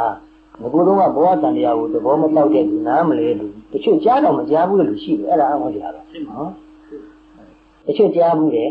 လက်မခံတဲ့လူရှိတယ်နော်အဲ့လိုလူတွေကတရားထိန်နဲ့ဝိပဿနာဉာဏ်ရင့်ကျက်တဲ့အဆင့်ကိုရောက်တဲ့ဆိုရင်ပဲသူကအကြောင်းကျိုးသဘောကိုကောင်းကောင်းသဘောပေါက်လာတယ်ဘဝတန်တရားဆိုတဲ့သဘောကိုသဘောပေါက်လာတယ် ဘယ်လိုလုပ်သဘောပေါက်လဲဆိုတော့ပြောပြဖို့အင်တန်ခဲခြင်းအင်တန်ခက်တယ်နော်အဲ့ဒါလိုပြောပြတဲ့လူတွေရဲ့စကားတွေကိုမှတ်ထားတာတော့ရှိတယ်ဒီမှာပါမလား record တွေမှတ်ထားတာရှိတယ်နော်သူ့ကိုမေးကြည့်တယ်အရင်တုန်းကဘဝတန်တရားဆိုတာကိုယုံကြည်လားဆိုတော့အရင်တုန်းကတပိတော့ကြားဘူးလေမယုံပါဘူးနော်အခုယုံကလားဆိုတော့အခုလက်ခံပါပြီစဉ်းစားပြီးတော့ပြီးတော့ပြီးတော့ဘာမှကြားတယ်ဆိုပြီးလက်ခံတာမဟုတ်ပါဘူးတဲ့စိတ်ထဲမှာအလိုလိုပဲဒါဟာသဘာဝတရားဆိုတာကိုသိပါတယ်နော် တချို့မေးကြည့်တော့အရင်တုန်းကဘဝတန်တရားဆိုတာကိုမကြားဘူးပါဘူးတဲ့ဒါပေမဲ့အခုတော့အဲ့ဒီဟာအဟုတ်ပဲအမှန်ပဲဆိုတာကိုသိပါတယ်ဒီလိုပြောလိုက်ရှိတယ်နော်အဲ့တော့ဘဝတန်တရားဆိုတာကိုလက်ခံလာပြီးတဲ့နောက်မှာလူရဲ့စိတ်မှာဖြစ်မဲ့အကြောင်းအရာတွေကငါသိပြီးရင်တော့ဘယ်လိုဘဝမျိုးရောက်ပါမလဲဆိုတော့ကြောင်းကြမှုတွေဆိုတာရှိတယ်နော်အထူးသဖြင့်ဟိုဘယ်သူမဆို အကုသိုလ်ဆိုတာအနေနဲ့များလုံးမိတာပေါ့နော်လုံးမိထားတာရှိတော့အဲ့ဒီအကုသိုလ်တွေများကအကျိုးပေးရင်တော့ဒုက္ခပဲကြောက်တဲ့စိတ်တွေရှိတယ်အခုဘဝလုခဲ့တာတွေရှိနေအတိတ်တိပြောဘဝတွေကလုခဲ့တာတွေရှိမှာနော်အဲဒီငင်းအေးတဲ့အသိဉာဏ်ကိုရတဲ့လူဟာသူ့ဉာဏ်ကအင်တန်မြင့်ပါတယ်နော်ဒီဉာဏ်နဲ့တန်တယ်လို့ပဲသူ့ရဲ့စိတ်ဓာတ်ကလည်းအင်တန်မြင့်မြတ်တယ်ဆိုတော့မြင့်မြတ်တဲ့စိတ်ဓာတ်ကိုစိတ်ဓာတ်ကိုရထားတဲ့အတွက်ကြောင့်ဘဝဆိုတာစိတ်နဲ့တန်တယ်လို့ဖြစ်ရတဲ့သဘောမှမဟုတ် မြင့်မြတ်တဲ့စိတ်ရှိနေတဲ့သူဟာရုံညံ့တဲ့ဘဝကိုဒီနေ့မှမဖြစ်ဘူးဒီမြင့်မြတ်တဲ့စိတ်ဒီပင်နဲ့တရားသိဖြစ်သွားတာနော်အကာအကွယ်သဘောလို့ပြောရင်ပိုကောင်းပါတယ်နော်အကာအကွယ်သဘောမျိုးဖြစ်လာတယ်အဲ့တော့ဘဝတန်တရားမှာဘဝတွေအမျိုးမျိုးဖြစ်ရတယ်ဆိုတာအမှန်တော့စိတ်နဲ့တန်တယ်လို့ဖြစ်ရတာပါနော်တဘာဝတရားပဲနော်ဒါကြောင့်သူ့ကိုလိန်ညာလှည့်သားလို့ရတာအဲ့တော့ကိုယ်စိတ်ကရင်းရတဲ့သဘောကိုရောက်လာလို့ရှိရင် ငါဟာရင်းရတဲ့ဘဝကိုဖြစ်ဥမှာလားဆိုတဲ့စိတ်ကမရှိတော့ဘူးဆိုရင်ကြံကြံရှိတော့ဘယ်ကားပိတ်တယ်ဆိုတာအဲ့ဒါကိုပြောတာနော်စိတ်ထဲမှာ confidence တမျိုးရှိတယ်ဘဝဆိုတာစိတ်နဲ့တန်တယ်ဖြစ်တာပဲနော်စိတ်ထားမြတ်လို့ရှိရင်ဒီပြင်းနေတဲ့ဘဝကိုရောက်နေတယ်နော်ပြီးတော့ဒီလိုအမှန်တမ်းနဲ့တည်မွေးတဲ့ရင်းအချင်းတဘာဝကိုသိထားတဲ့လူပါလေရင်းနဲ့စိတ်ထားမျိုးပြန်ပြီးတော့မရောက်နို င်ဒါမှအဖြစ်လောကဓာတ်တရားတွေတွေ့နေရတဲ့အခါမှာဝန်နဲ့ဝန်တာရှိတယ်နော်ဒါနဲ့ရင်းနဲ့သိချင်း evil တဘာဝဖြစ်နော် evil နဲ့ unwholesome ကိုနည်းနည်းလေးခွဲခြားပြီးသိလို့ရတယ်နော်ဒါဖြစ်ရင်တောတာပန်တို့ကတော့မှာအကုသိုလ်လုံးလုံးကျင်းလာဆိုမကျင်းပါဘူးနော်အကုသိုလ်ရှိသေးတယ်သို့တော့အကုသိုလ်ဆိုတာရိုးရိုးတာမာအကုသိုလ်ဆိုတာကို unwholesome လို့ပဲပြောလို့ရတယ်နော် evil မဟုတ်အဲ့တော့ ဒီလိုသောတာပန်လိုလောကုတ္တရာအတိညာဉ်ကိုရထားတဲ့ပုဂ္ဂိုလ်ဟာ evil တော့မှမဖြစ်ဘူးဒါရှင်လက်ဆက်ကလည်းပဲသူတို့သောတာပန်ဖြစ်ပြီးမှအရက်တောက်တယ်ဆိုလို့လူတွေကဉာဏ်တွေကဒီပုဂ္ဂိုလ်ကသောတာပန်ဟုတ်တယ်လားဆိုတော့ဆရာကဟုတ်တယ်ဖြစ်ပြီးမှတော့အရင်မတောက်တော့ဘူးမဖြစ်သေးခင်တော့တောက်မဟုတ်တချို့မှဘုံဝတ္ထုတွေကြည့်ရတယ်တချို့ကာရဘာမှာအဲ့လိုပဲအဲတောက်တဲ့ပုဂ္ဂိုလ်နောက်ဆုံးပြေသွားတော့ဗျာ သောတာပန်ဖြစ်ပြီးပြီလို့လည်းဘုရားကပြောထားပြီးအဲ့တော့ဒီဖြစ်တဲ့ကလေးရှိရှိအဲ့ဒီဖြစ်ကလေးကိုဖတ်ဖို့ပါတယ်နော်ဖတ်ဖို့လာမှာသူကသူတော့ပတာပံဖြစ်တာကတေဂန်ကြီးလေးမှဖြစ်သွားတာအဲဒါနဲ့ပတ်သက်လို့ဥပမာလေးတစ်ခုပြောချင်လေးတယ်နော်ဒီဒီဘုန်းကြီးနဲ့တည်တဲ့မိတ်ဆွေတွေထဲမှာဗမာပြည်မှာလည်းရှိတယ်နိုင်ငံခြားမှာလည်းရှိတယ်အေချာတိတိကျကျစူးစမ်းလေ့လာနေတဲ့သူမျိုးဆိုတော့ ဒီချက်လက်ကလေးတွေကအင်တန်စိတ်ဝင်စားကြကောင်းတယ်မှန်ပါတယ်ဒါပေမဲ့အဲ့ဒီဟိုအရုံတခုသောအဋ္ဌညာဆင့်ကိုရောက်သွားတဲ့အခါဆိုကြပါစို့ဒါကတော့နာမည်ပေါ့ဗျာဟုတ်လားသောတာပတ္တိမဲ့ဆိုင်သွားတယ်ဟုတ်လားဒီမဲ့ညာတစ်ခုကိုရောက်သွားတယ်ဆိုရင်လူမှပါသနာတိကုဏအရှင်မြတ်မရှိဘူးလို့ပါသနာတိကိုကြီးကိုယ်တို့တွေဘယ်လိုပြောင်းသွားတယ်စိတ်နဲ့စိတ်ထားတော့ attitude တွေဘယ်လိုပြောင်းသွားတယ်လဲ manner တွေဘယ်လိုပြောင်းသွားတယ်လဲအဲ့ဒါပြော way of life ကဘယ်လို change ဖြစ်သွားတယ်ဟုတ်လား ဟိုမှာလောကနဲ့ရင်ဆိုင်တဲ့အခါမှာသူဒီဘယ်လောက်ဟလာသောတာတလောကဓမ္မတိစိတ်တန်ရတဏကမ္မတိပေါ့ဘယ်လောက်မတုံမလို့ဖြစ်တယ်လေအဲအဲ့ဒါလေးတွေကိုတပည့်တော်ကအမြဲတည်းလေ့လာကြဩအဲလေ့လာတော့တပည့်တော်ကကိုကိုကိုပထမတော့ခြီုံထားတော့ဖြစ်တယ်ကြငါဒီစိတ်မဆက်ကိုရောက်ပြီဆိုတာလေးကိုတော့သိလိုက်ဘူးလေသိလိုက်ဘူးတော့အဲ့ဒါဟာရဲ့ဘယ်လောက်ခိုင်ရဲတယ်လဲဆိုတာမသိဘူးလေမိခင်ဆုံးတော့သူတို့လာခေါ်ကြတယ်လာခေါ်ကြတော့ဟိုမှာ ဟိုမွတ်စလင်တို့တင်းညိုမဲ့ဗုဒ္ဓဘာသာတို့တင်းညိုမဲ့ဆိုပြီးတော့ဒီကားတဲ့လွန်ဆွဲပွဲဖြစ်နေကြဆိုမျိုးကြဒီဘက်ဒီဘက်တော့ရောက်သွားတဲ့ချိန်ကြတော့မှတော့ငိုကြီးချက်မှလည်းဖြစ်နေကြတာပေါ့လေဘာလို့ငိုနေကြတာတော့အဲဘုံလို့ရတာပြီးတော့မှတပည့်တော်ရှိလိုက်တပည့်တော်ကြည့်လိုက်တဲ့ဆိုတပည့်တော်ဘာမှတော့လုံးမဖြစ်ဘူးဝန်နေကြလည်းပြုဝန်နာကြလည်းပြုဘာလို့ဘာမှဖြစ်ဘူးပြဟောငါလည်းသူ့လိုပဲသွားမှာပါပဲတော့ကြတိပြလိုက်တော့ငါလည်းပြလိုက်မှာပါပဲ စိတ်ကချက်ချင်းပြသွားကြမအေးဆိုတာလည်းဖြုတ်ထားလိုက်တာဘာမှမဖြစ်ဘူးယုံနံလို့ရသွားရလားတင်သွားရလားမဖြစ်ဘူးအဲ့တော့အဲ့မှာပြီငါတော့တော့ရောက်သွားပြီပါလားလို့ဆိုပြီးတော့အဲ့ဒါလေးပေါ့ဟိုလောကဓာတ်မှာရင်ဆိုင်ရတဲ့အခါမှာမိမိဒီဘယ်လောက်တတိဟုတ်လားပြင်းပြင်းသွားပြီဟုတ်လားဘယ်လောက်တတိလောကဓာတ်ကိုမတတ်နိုင်တော့ဘူးဝေဒနာမလာတော့ဘူးဗျာဘုဘဘုဒ္ဓနာမကူးနိုင်တော့ဘူးဒီမှာပြတ်သွားတဲ့သဘောလေးတစ်ခုတော့ဆိုတော့ဒါကြုံမှုပါအဲဟိုအခု အခုအရှင်မြတ်ဒီကိစ္စမင်းမင်းလိုက်တာသိကောင်းပါတယ်ဘာလို့တော့လူတွေမှာသကလုံးတွေကြောင့်ဖြုတ်သွင်းနေတာရှိတယ်သောတာပတ္တိမေဆိုင်တလံထိုက်ဘူးလားဆိုတော့ဘယ်လိုအတွေ့အကြုံနေလဲလဲဆိုတာတစ်ဖက်ကဝိပဿနာဖြစ်တယ်လို့တစ်ဖက်ကမိမိဘယ်လိုပြောင်းသွားတယ်လဲဆိုတာလေးသိရင်လည်းဒါဒီအဆင့်ရောက်လားမရောက်ဘူးလားသိနိုင်တဲ့သဘောရှိပါတယ်အခုရှင်ပြမိတ်ရှိတာတော်တော်ကိုကောင်းပါဒါဟုတ်တနည်းအားဖြင့်ပြောမှဆိုလို့ရှိရင်တော့ခေအမြင်ခေအကြရှိသူတို့ သိနိုင်တဲ့ဤတနည်းပေါ့ဟုတ်ပြီဟုတ်ပြီကျမ်းနဲ့ကျမ်းဂန်သာပြီးတဲ့ဟာတွေနဲ့ဒီလိုလိုက်လိုက်ပြီးစကလုံးတွေနဲ့ကြည့်နေတာထက်မိမိရဲ့ဒီခေအမြင်ခေအကြားခေသိရှိသူတို့ဟလာစူးစမ်းလေးလိုက်ဒီနည်းနဲ့လေဒီဖြေပေါ့ဗျာဟုတ်လားဒါသိနိုင်တယ်ဘုရှင်ပြပြောခဲ့တဲ့စိတ်ရဲ့ level တွေမြင့်တက်သွားပုံနဲ့အဲ့ဒီဟာလေးကတော့ဟိုကျမ်းဂန်ပြောနေတော့မဟုတ်ဘူးပေါ့ဗျာအခုဒီနေ့လို့ရှိရင်ရင်းနေရင်းနေမှ ရောကြွလာရင်ကြွတယ်ကြွတယ်မှရွှေ့ရင်ရွှေ့တယ်ရွှေ့တယ်မှချရင်ချတယ်ချတယ်မှပြုပြင်မရှိပဲငြိမ်းနေရမည်ဆိုရင်တော့အောင်းတယ်ပိန်တယ်ပေါင်းတယ်ပိန်တယ်လို့ရမှနေရမယ်။ဒါထဲမှာရနာမနေအောင်ရှင်းမှလည်းနောက်မှစနေကြရမယ်။ရှင်းသမားတွေနောက်သမားတွေရှင်းညာလည်းနောက်ညာသစ္စာတွေသွားမှသတိသမားတွေညာတွေကအစင်းနဲ့တစ်စင်းညင်ညင်ရင့်ရင်ပြီးလာတာဒီလိုရင့်ရင်ပြီးအားပြည့်တဲ့အခါကျတော့မှမဉဏ်ကိုဆက်ရောက်ပြီးသွားတာ။ရားတော့လေဆိုတာ မိဖို့တဲ့ယောက်ျားလိုအားထုတ်ရမယ်တဲ့။ဒီချင်းမပေါ်တဲ့ဝေချစ်ခေတုန်းကဒီသားချင်းပို့ပြီးတော့မိမှုရတယ်ဟလာစူးစမ်းလေးလိုက်ဒီနည်းနဲ့လေဒီဖြေပေါ့ဗျာဟုတ်လားဒါသိနိုင်တယ်ဘုရှင်ပြပြောခဲ့တဲ့စိတ်ရဲ့ level တွေမြင့်တက်သွားပုံနဲ့အဲ့ဒီဟာလေးကတော့ဟိုကျမ်းဂန်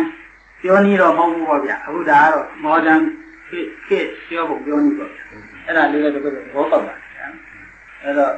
သင်လေးရတယ်သူ့ပြီးတော့လောက်အောင်အဲ့တော့တကယ်တော့ဒုတိယ ပြီလို့တဲ့အချက်ကလေးပေါ့ဗျာဒါလည်းကျမ်းဂန်နဲ့ရောထွေးမှုလေးပါအဲ့ဒါကဘာလဲလို့ဆိုတော့တပည့်တော်တို့ကျမ်းဂန်အလိုရတော့မေဃောပညာတကိမတာတကိမတာခေါ်တာပေါ့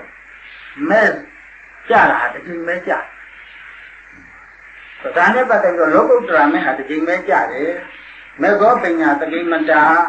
ဆိုပြီးတော့ဒါကျမ်းဂန်မှာဆိုပါတယ်မဲကြတာနဲ့နောက်ကပို့လိုက်တာ မက်ကတော့တစ်ချိန်ပဲကြာတယ်သို့တော်လည်းပဲကိုကနှစ်ချိန်သုံးချိန်ကြာနိုင်တယ်လို့ကျေးဇူးရှင်မိုးကုတ်ဆရာတော်ဘုရားကြီးရဲ့လုပ်ငန်းရှင်တရားတစ်သာမဏေ220မှာပေါ်ပြထားပါတယ်ဒါနဲ့ပတ်သက်ပြီးရှင်ဘုရားရဲ့ကိုယ်တို့ဉာဏ်တို့ဆုံးဖြတ်ကိုပဲတော့ပြီးလို့ဒီတဘာဝနဲ့ပတ်သက်ပြီးတော့စာပေထဲမှာရှင်းထားတာရှိတယ်နော်ဟိုနာမည်တက်တဲ့အခါမှာ သူ့ရဲ့ function ကိုကြည့်ပြီးတော့နာမည်တက်ရတယ်နော်ဒီမှာဘာပဲဖြစ်လာဖြစ်လာနော်ဘယ်ကိစ္စပဲဖြစ်ဖြစ်သူ့ကိုနာမည်ပေးတဲ့အခါမှာသူ့ကို classify လုပ်တဲ့အခါမှာသူ့ရဲ့ function ကိုကြည့်ရတယ်နော်ဒါလေးကိုအခြေခံသဘောပေါက်ထားဖို့လိုတယ်အဲ့တော့မဲ့ရဲ့ function ဆိုတာကသူတက်ဆိုင်ရာမဲ့မှာဒီမဲ့ရဲ့တတ္တိကြောင့်ဒီအသိဉာဏ်ရဲ့တတ္တိကြောင့်နော်အမှန်တော့အသိဉာဏ်ပါအသိဉာဏ်ရဲ့တတ္တိကြောင့်ဟိုလုံရောက်သွားနိုင်တဲ့သဘောပယ်နိုင်တဲ့သဘောလေးတွေကရှိတယ်ဒီမှာ အဲ့တော့ဒီအသိဉာဏ်တစ်ချိန်ဖြစ်လိုက်ပြီဆိုရင်ဒီသက်ဆိုင်ရာတချို့တချို့တော့ဖြစ်တတ်တဲ့စိတ်ထဲမှာဖြစ်တတ်တဲ့သဘာဝတွေကိလေသာတွေဟာနောက်ထပ်ဖြစ်ခွင့်မရတော့ဘူးနော်ဒါအသိဉာဏ်အင်အားကြောင့်ပါအဲ့တော့တစ်ချိန်ဖြစ်လိုက်ကြတဲ့ကသူဟာဟိုဖြစ်နေတဲ့အခြေအနေ potential ကိုလုံးဝဖြတ်လိုက်ပြီနော်နောက်ထပ်ဆက်ကဆက်ကဖြစ်တဲ့စိတ်တွေဟာရှိရဖြစ်သွားတဲ့စိတ်နဲ့ nature ချင်းသဘာဝချင်း အကုန်လုံးကတစ်ထပ်တည်းပဲတူတယ်သို့တော့ရှိကတစ်ချိန်ဖြစ်ပြီးသားဖြစ်တဲ့စိတ်ကပယ်ပြီးသားလုပ်ငန်းကပြီးသွားတယ်နော်အမှန်တော့သူကတမင်တကာပယ်လိုက်ရတာမဟုတ်ဘူးဒီစိတ်ဖြစ်လိုက်ကြတဲ့ဘဝ potential ကမရှိတော့ဘူးနော်အဲ့တော့နောက်ဆက်ကဆက်ကဖြစ်တဲ့ပုံစိတ်ကသူကပယ်ရမလို့တော့ဒါပေမဲ့အထက်မှာကြံနေတဲ့ကိလေသာကိုလည်းသူကပယ်နိုင်တဲ့အင်အားမရှိဘူးပယ်ပြီးသားကိလေသာကိုလည်းသူကပယ်စရာလုပ်ငန်းမရှိတော့ဘူးနော် မရှိတော့တော့ရှေ့စိတ်ကိုမဲ့စိတ်လို့ခေါ်တော့နောက်ကနေသူနဲ့တဘာဝချင်းထပ်တူဖြစ်နေတဲ့ကျန်တဲ့စိတ်တွေကိုဖိုစိတ်ဆိုတော့ classify လုပ်ရတာပဲကွာတယ် function ကိုကြည့်ပြီး classify လုပ်တာပဲနော်နောက်ထပ်ဒီလောက်ပဲအင်အားပြည့်တယ်ဒီလောက်ပဲအသိဉာဏ်ပြည့်တဲ့စိတ်မျိုးဘယ်နှကြိမ်နဲ့ဖြစ်နေဖြစ်နေသူ့ကိုမဲ့စိတ်လို့မခေါ်တော့ဘူးဘာဖြစ်လို့လဲဆိုတော့သူဟာနောက်ထပ်အသစ်ဖြစ်တဲ့ကိလေသာကိုပယ်နေလောက်အောင်အင်အားမရှိဘူးပယ်ပြီးသားကိလေသာကိုပယ်ကြလည်းမလို့တော့ဘူးဒီနှစ်ခုရဲ့ချမ်းသာခြင်းဒါပဲနော် တဘာဝချင်းကတော့မဲ့စိတ်နဲ့ကိုယ်စိတ်ကအကုန်တူတယ်ဘာမှမထူးဘူး identical ပဲနော်အဲ့တော့ပထမတစ်ချိန်ဖြစ်လိုက်ကြတဲ့ရောက် potential ကမရှိတော့ဘူးဒီနဲ့တက်ဆိုင်တာဒီဆိုင်ရာကိလေသာတွေကသူသူ့ဘိုင်းမှာသူပယ်ရမယ့်ဟာတွေကတော့ကုန်သွားပြီနောက်ဖြစ်လာတဲ့ဟာတွေဟာပယ်တာမဟုတ်တော့ဘူးသူကပယ်နိုင်ကောင်းလည်းမရှိတော့ဘူးပင်နိုင်စွမ်းမရှိဘူးဆိုတာတဲ့ပယ်စရာမလိုတော့လို့မပယ်တော့ဘူးအဲပယ်စရာမလိုတော့တော့အဲတော့သူဟာသူ အကျိုးသဘောအနေနဲ့ဖြစ်ပေါ်တယ်နောက်တစ်ချက်ကလည်းဒီညမှာနည်းနည်းလေးဖြည့်ပြီးတော့ပို့ပြီးတော့စူးစူးစစိုက်လေးစဉ်းစားတင်တာကဒီမှာ message ကဘယ်ကိလေသာတွေပယ်လိုက်မယ်ဆိုတဲ့ intention မရှိရှိ message မှာ intention မရှိဒီမှာနော်သူကသူသိရမယ့်သဘာဝကိုဒါသိလိုက်သွားသိလိုက်တာနော်သူသိရမယ့်သဘာဝကိုသူကသူသိလိုက်ယုံနဲ့အဲ့ဒီမှာပါလာတဲ့အတိညာရဲ့အင်အားကြောင့်ဟိုတချို့တော့ ဒုကိလေသာတွေဟာပယ်ပြီးတော့ပယ်ပြီးသားဖြစ်သွားတယ်ဒါကြောင့် intention မရှိဘူးဆိုတာသဘောပေါက်ဖို့လိုတယ်သဘောတရားတွေအားလုံးဟာသူ့မှာ intention မရှိရှိသူကဖြစ်လာလို့ဒါဟိုဟာတွေကပယ်ပြီးသားအလိုလိုပယ်ပြီးသားဖြစ်သွားတာဟုတ်တယ်ဟုတ်တယ်နော်အဲ့တော့ message ကပယ်တယ် message ကပယ်တယ်လို့ပြောတော့လဲပဲတကယ်တော့ message ဖြစ်လာတဲ့အတွက်ကြောင့်ဒီစိတ်ထမှာဖြစ်ပေါ်လာတဲ့အသိဉာဏ်အင်အားရဲ့တတ္တိကြောင့်တချို့သောကိလေသာတွေကဖြစ်ခွင့်ကိုမရနိုင်တော့ဘူး intentionally ပယ်တာမဟုတ်ဘူး သဘောတရားမှမြတ်ပဲဘယ်ဟာမှ intention မရှိဘူးနော်အကြောင်းအကျိုးလို့ပြောပေမဲ့ intentional လို့ပြောလို့မရဘူးကလေးကတော့လေးစဉ်းစားတဲ့သဘောပေါက်တယ်ဟုတ်ပြီဟိုသူ့သဘောသူဆောင်ပြီးဖြစ်တာအဲဒီသဘောကြောင့်ဖြစ်တာသူ့သဘောသူဆောင်ပြီးဖြစ်တာဖြစ်လာတဲ့အကျိုးကသူ့ဟာသူပေါ်လာတာသူကသူပေါ်လာတဲ့ကောဖြစ်ခွင့်မရဘူးဖြစ်ပါစေတော့လို့ရည်ရွယ်ပြီးတော့လုံးလို့ဖြစ်တာမျိုးတော့မဟုတ်မဟုတ်ဘူးတဘာဝတရားသူ့ဟာသူဖြစ်อืมတ condition တွေစုံရင်သူ့အကျိုး ကြောင်းတစ်ခုပြည့်စုံသွားလို့ရှိရင်အကျိုးကသူ့ဟာသူသင့်တော်တာအကျိုးကလိုက်လာတယ်လိုက်လာတယ်ဟုတ်တယ်လားတော့သူ့မှာဒီလိုပဲကုသိုလ်စိတ်ဖြစ်ဖြစ်အကုသိုလ်စိတ်ဖြစ်ဖြစ် unintentional လို့ပဲပြောရတော့မှာတကယ်တော့ဒါစေတနာမပါဘူးဆိုလို့ပြောလို့တော့မရဘူးနော်ဒါပေမဲ့အဲ့ဒီနေရာမှာတုံးနေတဲ့စေတနာဆိုတဲ့စကားလုံးရဲ့အဓိပ္ပာယ်ကိုနားလည်ဖို့လိုတယ်စိတ်ဖြစ်တဲ့ကံမှာစေတသိက်တွေအများကြီးပါတယ်အဲ့ဒီစေတသိက်တွေမှာစေတနာပါတယ်နော်ဒါပေမဲ့အဲ့ဒီစေတနာဟာ အများနားလည်နေတဲ့စေတနာမျိုးမဟုတ်ဘူးစိတ်ဆောင်မှုလေးတော့စိတ်ဆောင်မှုပေါ့ပဲ intention တော့မဟုတ်ဘူးအဲဒီသူ့ရဲ့ရဲ့မှတ်သားချက်တော့မဟုတ်ဘူးအဲသူ့ရဲ့ intention ကတစ်မျိုးဖြစ်နော်သူ့ intention ကစိုက်နေတဲ့အာရုံဘက်ကိုပဲဘက်ကပေးရမယ်လက်ကိုမဆူဆိုင်နည်းနည်းတော့ပြောရခဲ့တယ်ဘုရားကတော့ယတနာလေးကဒီမဲ့သောဟာတစ်ချိန်မဲ့ကြာတယ် တစ်ချိန်ကြာပြီးရင်သူကိစ္စပြီးသွားတယ်ဒီကဟိုနောက်ကလိုက်လာတဲ့ဘုရားတော့နှစ်ချိန်သုံးချိန်တော့ဒါဟိုအာထုပ်ရင်သုံးချိန်နဲ့ဖြစ်နိုင်တယ်အဲမကနိုင်ဘူးပထမတစ်ခါတော့ဒီလောက်ပဲ potential ရှိရင်သူ့ energy ရှိလောက်ပဲသွားမှာဟုတ်တော့ဒါကိုပြန်ပြီး repeat လုပ်လို့ရတယ်အချိန်ပေါင်းအကန့်အသတ်မရှိ repeat လုပ်လို့ရတယ်ဒါကြောင့်ဖလားသမာဘဝင်သားတယ်ဖလားသမာဝင်သားတယ်ဆိုတာကိုယ့်ကိုပြန်ပြီးဒါကိုတော့ပြန်ပြီး repeat ဝင်စားတယ်ဆိုတဲ့သဘောကဒီ stage ကိုပြန်ရအောင်လုပ်တာပဲလောက်တာပဲဟုတ်တယ် အဲ့ဒါလေးလေးနည်းနည်းဟိုပုံပြမယ်နံပါတ်3ကတော့ဒါလေးက experience နဲ့ဆိုင်ပါတယ်နည်းနည်းရှင်ပြ experience နဲ့လည်းတပည့်တော်ရ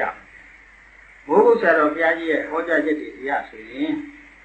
ဖြစ်ပြမြင်တာယထာဘုဒ္ဓဉာဏ်ပေါ့ဗျာဖြစ်ပြမုန်းတာကိုနေဝိညာဉ်ဉာဏ်ဖြစ်ပြမုန်းပြီးတော့ဖြစ်ပြဆုံးသွားတာကိုမဲ့ဉာဏ် ဖြစ်ပြဆုံးသွားတဲ့ဉာဏ်ကိုမဲ့ဉာဏ်လို့မှတ်လိုက်လို့ဆိုပြီးတော့မရှိဒီဉာဏ်လေးပေါ်ပြီးဆိုရင်ဖြင့်တဲ့မြင့်သိရေကိုအင်မတန်ပူးနေတဲ့အချိန်မှာလောင်းချလိုက်ရတယ်လို့ပေါ့လေအေးထွက်သွားတယ်ဒီလိုကတစ်မျိုးမဲ့ရလို့ဘယ်လိုများပေါ်လာပါလိမ့်မလဲဆိုရင်ရေအေးကိုးတစ်ထောင်လောက်လောင်းချလိုက်ရတယ်လို့ကိုယ်ခန္ဓာထဲမှာအေးစိမ့်သွား တကယ်လို့ပေါ့ပါကြည့်အေးနေဓမ္မညာပေါ်ပြီလို့အောင်းဝေးလိုက်ပြီလို့ဒီမှာဟာ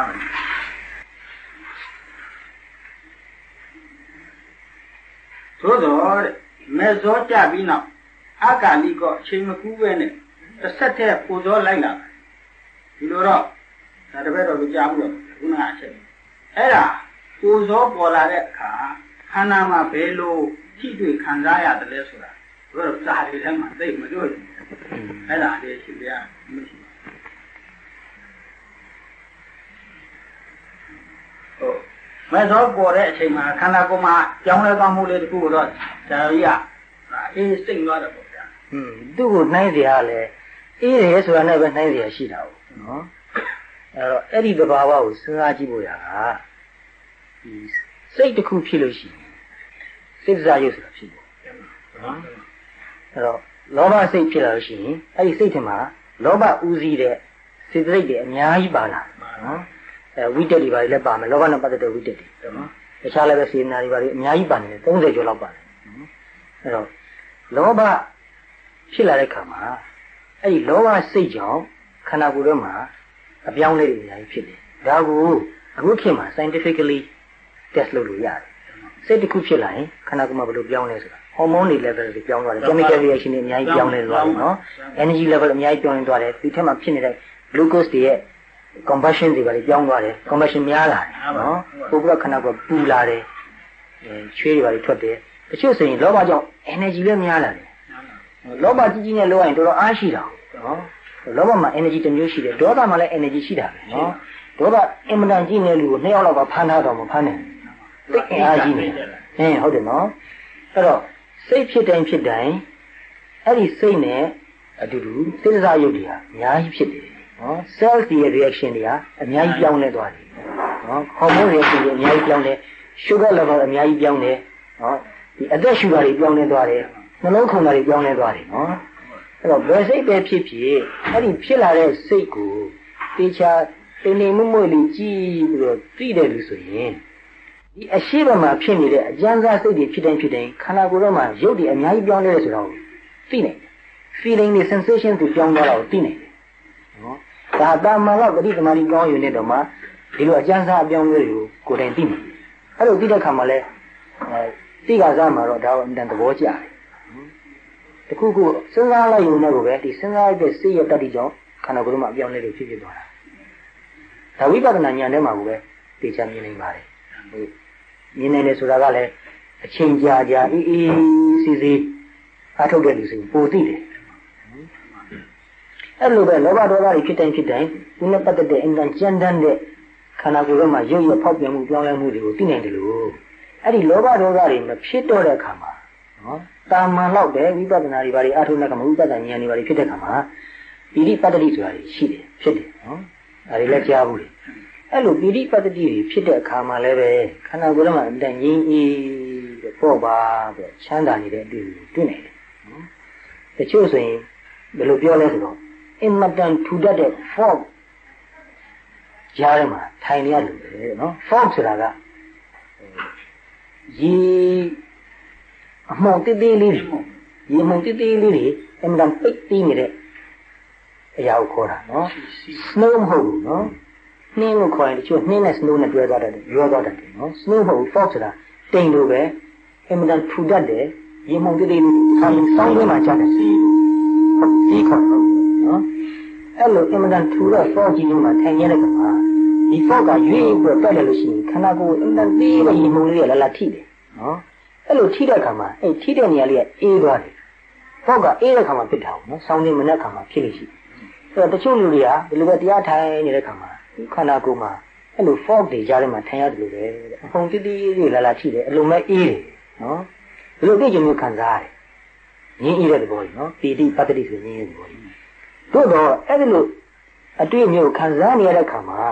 အဲ့ဒီလူကဒီခံစားနေရတဲ့အာရုံရဲ့သဘောကိုလည်းသိနေတယ်နော်။ဒီရုပ်ရဲ့သဘောလေးတွေခန္ဓာကိုယ်မှာပြောင်းနေတဲ့သဘောလေးတွေကိုသိနေတယ်အဲ့တော့ဒီအသိဟာလည်းအကျဉ်းစားအသိပဲရှိသေးတယ်နော် အဲ့ဒီလိုတဖြည်းဖြည်းတဖြည်းဖြည်းနဲ့အင်မတန်တိမ်မွေ့တဲ့စိတ်တွေဖြစ်လာတဲ့အခါမှာအဲ့ဒီတိမ်မွေ့တဲ့စိတ်နဲ့ထိုက်တန်တယ်လို့ပဲတိမ်မွေ့တဲ့စိတ်စားရုပ်တွေကခန္ဓာကိုယ်မှာဖြစ်တယ်ခန္ဓာကိုယ်အင်မတန်နူးညံ့တယ်လို့ခံစားရတယ်ညောင်းညာခြင်းကြိုက်ခဲခြင်းမာခြင်းလေးခြင်းဆိုတဲ့သဘောကြီးပျောက်သွားပြီလို့နော်အင်မတန်နူးညံ့ညံ့လေးဖြစ်နေတဲ့သဘောကိုခံစားရတယ်အဲစိတ်တိမ်မွေ့တယ်လို့စိတ်စားရုပ်တွေတိမ်မွေ့လာတဲ့သဘောတွေပဲအဲ့တော့ဒီထက်တိမ်မွေ့တဲ့ယုံနာလေးဖြစ်ချင်းမပြည့်ချင်းသဘောကို ဒီစိတ်ကသိနေတဲ့အချိန်မှာဒီစိတ်ကဘယ်လောက်ဖြစ်အောင်တိမ်မွေ့မလဲစိတ်ကအမရမတန်တိမ်မွေ့နေတယ်အဲ့လိုတိမ်မွေ့နေတဲ့ခါမှာစိတ်ထဲမှာပူလောင်ခြင်းသဘောဆိုတာလုံးဝမရှိတော့ကြောက်ကြခြင်းသဘောဆိုတာလုံးဝမရှိတော့ဘူးငကိုယ်တော့ကဒီတရားထုတဲ့ခါမှာယုတ်တရားနံတရားကိုမှစိတ်ကိုအာရုံစိုက်ပြီးတော့ပို့ထားတဲ့ effect ဆိုတာတစ်မျိုးဟာရှိသေးတယ်နော်အဲ့ဒီ effect ပါမရှိနိုင်ဘူး အင်တန်ပေါ်ပါတော့အင်တန်ကြီးရတဲ့သဘောဖြစ်တယ်စိတ်ထဲမှာပူလောင်ခြင်းမရှိတော့အဲရုပ်ပေါ်ခန္ဓာကိုယ်ထဲမှာအေးတယ်လို့ခံစားရတယ်ဆိုတဲ့သဘောကစိတ်ရဲ့တတ္တိကြောင့်စိတ်အင်တန်အေးနေလို့ရုပ်ကိုလည်းအေးတယ်လို့ခံစားရတာပဲတကယ်လို့ရုပ်ထဲမှာပူလောင်ခြင်းမရှိတော့ဘူးအဲ့ဒီအချိန်မှာ body ရဲ့ chemical reaction တွေအစကျသွားပြီ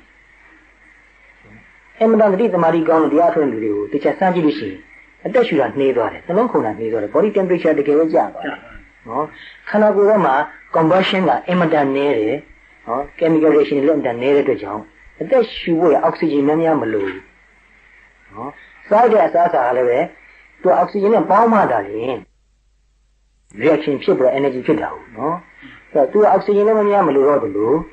ခန္ဓာကိုယ်ထဲမှာ glucose လည်းမများမလိုတော့ဘူးဒါကြောင့်သူအစာတွေအများကြီးစားဖို့မလိုဘူးနော်အဲ့ဒါလို့အချိန်ကြာကြာတရားအထုတ်နေတဲ့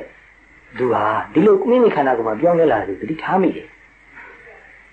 ခန္ဓာကိုယ်ကအမြဲတမ်းငြင်းအေးလို့ဖြစ်တယ်အေးစက်နေတခါလေတကယ်ကန်ကြည့်နေတကယ်တော့အေးနေတာနော်ခံစားမှုသဘောအဖြစ်တာအေးတာမဟုတ်နော်ဘေးသူပြောက်လာကန်ကြည့်နေလည်းပဲသူခန္ဓာကိုယ်ကအေးစက်နေတယ်နော်သူစိတ်ထဲမှာလည်းကြည့်လိုက်ရင်စိတ်ကအေးစက်နေတဲ့ခံစားမှုပဲရှိတယ်ဆိုတော့စိတ်အေးလို့ရုပ်လည်းအေးတဲ့သဘောကိုခံစားရတာပါနော်အဲ့တော့လုံးဝဖြစ်ချင်းပြည့်ချင်းသဘောမရှိတဲ့နိဗ္ဗာန်ကိုအာရုံပြုတဲ့အခါမှာစိတ်ကဘယ်တော့အေးနေတယ်လို့အလုံးအလုံးအေးတယ်အလုံးအလုံးအေးတော့ သူရုပ်ကလည်းပဲအေးနေတဲ့သဘောပဲရှိတယ်သူရုပ်ခန္ဓာကိုယ်မှာ reaction အင်မတန်အင်မတန်လေး Kelatamabat အလားတမဘတ်ဆိုတာအဲ့ဒါလိုတူတူပဲတူတူပါပဲနော်ဗျာသူလည်းပြည့်ချင်းပြည့်ချင်းမရှိတဲ့ငြင်းနေတဲ့သဘောကိုအာရုံပြုတာမလို့ပြုတ်နေတဲ့အချိန်မှာဒီကုလုံး A step ပြီးတော့ခုနကအမှန်တော့ဒီဒီချမ်းငြင်းချမ်းနေအဲ့တော့ဖြစ်ချင်းဖြစ်ချင်းမရှိတဲ့သဘောကိုအာရုံပြုနေတာမလို့အဲ့ဒီအချိန်မှာ ဘာလို့မှဖြစ်တာပြစ်တာကြီးလို့မမြင်နိုင်တော့ဘူးဒီသိနေတဲ့စိတ်ကိုလည်းပြန်ရှုလို့မရဘူးသိနေတဲ့စိတ်ကိုပြန်ရှုရင်ကိုပဲသူဖြစ်ချင်းပြည့်ချင်းသဘောကိုပြန်မရှုရတော့မယ့်သဘောမျိုးရောက်သွားလိမ့်မယ်အဲ့ကွန်လေးရေးကြည့်လို့ပါဗျာအဲ့ကွန်လေးရေးကြည့်တယ်အဲ့တော့သူ့စိတ်ကရှုပ်နေတဲ့စိတ်ကိုပြန်ပြီးမရှုတော့ဘူးမှမျောသွားတယ်လို့ဖြစ်တယ်ဗျာ absorb ဖြစ်သွားတယ်ဓမ္မနော်ဖြစ်ချင်းပြည့်ချင်းမရှိဘူးဆိုတဲ့ငြင်းဤတဲ့သဘာဝတွေကိုစိတ်ကလုံးလုံးကြီးရာခိုင်နှုန်းအပြည့် 100%ရောက်သွားတယ်ဆိုတော့ဒီဘက်ကိုပြန်လှည့်ဖို့ဆိုသူဟိုဘက်ကို100%နေလို့မရဘူးနော်ဒါပေမဲ့တစ်လှည့်စီလုံးကြည့်ရင်တော့ရနိုင်တယ်တပည့်တော်ကြုံဘူးလားလေရှောက်ဘူးလားဟုတ်တာမန်အပြင်ပြောမယ်ဆိုရင်တော့မျောသွားတယ်လို့ဆိုနိုင်တာပေါ့ဗျာအဲ့မျောသွားတယ်ဆိုတာလည်းဘယ်ကမှသူပြောနိုင်တယ်လဲဆိုအဲ့ဒီဟာလေးပြတ်သွားတယ်ကွာ shock ဖြစ်သွားတယ်ဗျာ အဲ့ဒါကတော့မောင်ငါမျောသွားပါလားလို့ဒါပဲအကုန်သိနေတယ်ဗျာဟိုဘုံရင်စိတ်ဟာခါတိုင်းဆိုလို့ရှိရင်မသိလို့ဒါပေမဲ့အဲ့မသိတဲ့စိတ်ကတက်သိနေတယ်ဗျာအကုန်လုံးအဲ့ဒါလေးမှဘယ်လိုဖြစ်တုံးဆိုတော့ဒီဒီနှာခေါင်းကအတက်မရှူတော့ပဲနဲ့ဒီနေရာမှာကျုပ်နှချောင်းပေါ်သလိုဖြစ်တယ်ဗျပြီးတော့အဲ့ဒီကရှူနေတယ်အမှန်တော့ဒီရောက်တတိကိုမရောက်တော့ဒီကကိုအသက်ရှူနေတဲ့သဘောလေးဖြစ်တယ်ဖြစ်ပြီးတော့မှေးကနေပြညစ်ငနေအေးသွားတဲ့သဘောမကြပါဘူးဗျစက္ကန့်မိုက်ပါ ပြီးအဲ့ဒါလေးလွတ်သွားတဲ့အချိန်မှာတကယ်ကိုဟို electric shock ဖြစ်တယ်အဲ့တုံပြီးတော့ဖြစ်သွားတယ်ဟိုဒါတော့တကယ်တော့စိတ်ကမှာဖိုးဆိုတဲ့ဒီကောကတ်မှသူ automatic လာတာဗျဖိုးဆိုတဲ့သဘောကဒီလိုပါလားဆိုပြီးတော့တပည့်တော်တော့ဒီလိုမှတ်လိုက်အဲ့ဒီမှတ်တာများမှားသလားလို့ဆိုပြီးတော့မေ့မျောနေတဲ့သဘောမျိုးလို့ပြောတော့ပြောကြတာပေါ့လေဟိုလုံးဝမေ့တာမဟုတ်ဘူးသိသိအကုန်သိနေတာဗျ အောင်းကြီးတကူဒါပေမဲ့အဲ့ဒီဟာလေးကလွတ်သွားတဲ့အချိန်မှာ shock ဖြစ်သွားတဲ့အတွက်ဟိုဒီချိန်မှာအစောဟို absorption ပေါ့အဲ့ဒါလိုဖြစ်သွားတယ်ဆိုတဲ့သဘောလေးသိ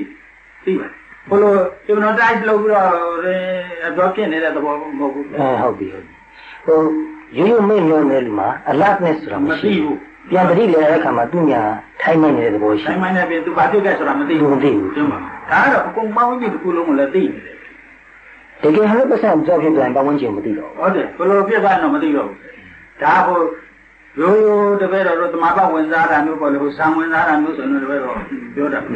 အခုဒါလေးမှာတော့ဒီဖူဇောလေးဟာဒီလိုပါလားဆိုတာလေးတော့ခံစားပြီးပါအဲ့ဒါလေးကိုတပည့်တော်ကဒါနည်းနည်းဟိုဒါစပိုင်းဟို test လုပ်ချင်တာပေါ့ဗျာအများပြောတဲ့အတိုင်းဆိုလို့ရှိရင်ဒါတပည့်တော်ကိုက်နေပါဗျာအခုနံပါတ်၄ချက်ကလေးတစ်ခုတပည့်တော် ပြင်ပြခြင်းအဲ့တော့ဒါသီရဝရသာသနာမှာအဲနည်းနည်းလေး controversial ဖြစ်နေတဲ့ကိစ္စအလို့ပဲပြင်မှဘာလို့လဲဆိုတော့ဒီဟိုကဘုန်းကြီးတစ်ပါးရေးတဲ့ဆောင်းပါးတစ်ခုရှိပါတယ်ဗျတပည့်တော်တို့သောတာပန်ဖြစ်တဲ့လူဟာသောတာပန်ဖြစ်ကြောင်းကိုထုတ်ပေါ်ပြီးမပြောရဘူး အနာဂံဖြစ်တဲ့လူကအနာဂံဖြစ်ကြောင်းပြောတော့ဟာတမဲဖို့ဆိုင်တဲ့လူကယဟန္တာဖြစ်တဲ့လူကယဟန္တာဖြစ်ကြောင်းမပြောရဘူးပေါ့ဗျာမပြောကောင်းဘူးဆိုပြီးတော့ဒါတပည့်တော်တို့ထေရဝါဒအစီအစဉ်မှာလက်ခံထားတဲ့ဘောရှိတယ်သို့တော်လည်းပဲမြတ်စွာဘုရားကသုတ်မဟာဝါပါဠိတော်မဟာပရိနိဗ္ဗာန်သုတ်အတ္တဒီပဓမ္မဒေသနာတော်မှာတော့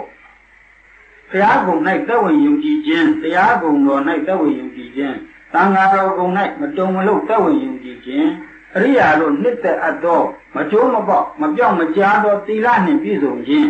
ဤအင်္ဂါ၄ပါးတို့နှင့်ပြည့်စုံသောအရိယာသာဝကသည်မိမိကိုယ်ကိုသောတာပန်ဖြစ်ပြီးဟုပြောလို့ရဲရဲဝံ့ဝံ့ပြောနိုင်ကြောင်းဒါမိမိကိုယ်ကိုပြန်ပြောတဲ့အဓိပ္ပာယ်နော်ဟုတ်လားသူတစ်ပါးကိုပြောတဲ့အဓိပ္ပာယ်မဟုတ်ဘူးအဲ့ဒါကြောင့်အဲ့ဒါကိုယ့်ကိုသုံးချက်နိုင်ပြီလို့ပြောတာဟုတ်ပြီမိမိကိုယ်ကိုတော့ပြတာအဲ့ဒါကိုတပည့်တော်မိမိကိုယ်ကိုသောတာပန်ဖြစ်သူဟုပြောလို့ရဲရဲဝံ့ဝံ့ပြောနိုင်ရင်ကိုဓမ္မ ဒါကဓမ္မပရိယာယဒေသနာတော်မှာအရှင်အနန္ဒကိုနာတိကပြည်ရမှာဟောတော်မူကြောင်းသံဃာနာမင်းဖြစ်ကြမှာတပည့်တော်ဟုတ်ပါတယ်အဲ့တော့အရှင်ဘုရားကပြောတဲ့အတိုင်းဆိုတော့ဒီမိမိကိုယ်ကြောင့်ရှုံးနေတာဗျာอืมနော်မိမိကိုယ်ကိုပဲပြောနိုင် you can determine for yourself ဟောဒီတာမင်းလောက်တာဟုတ်ပြီဟုတ်ပြီဒါဆိုဟို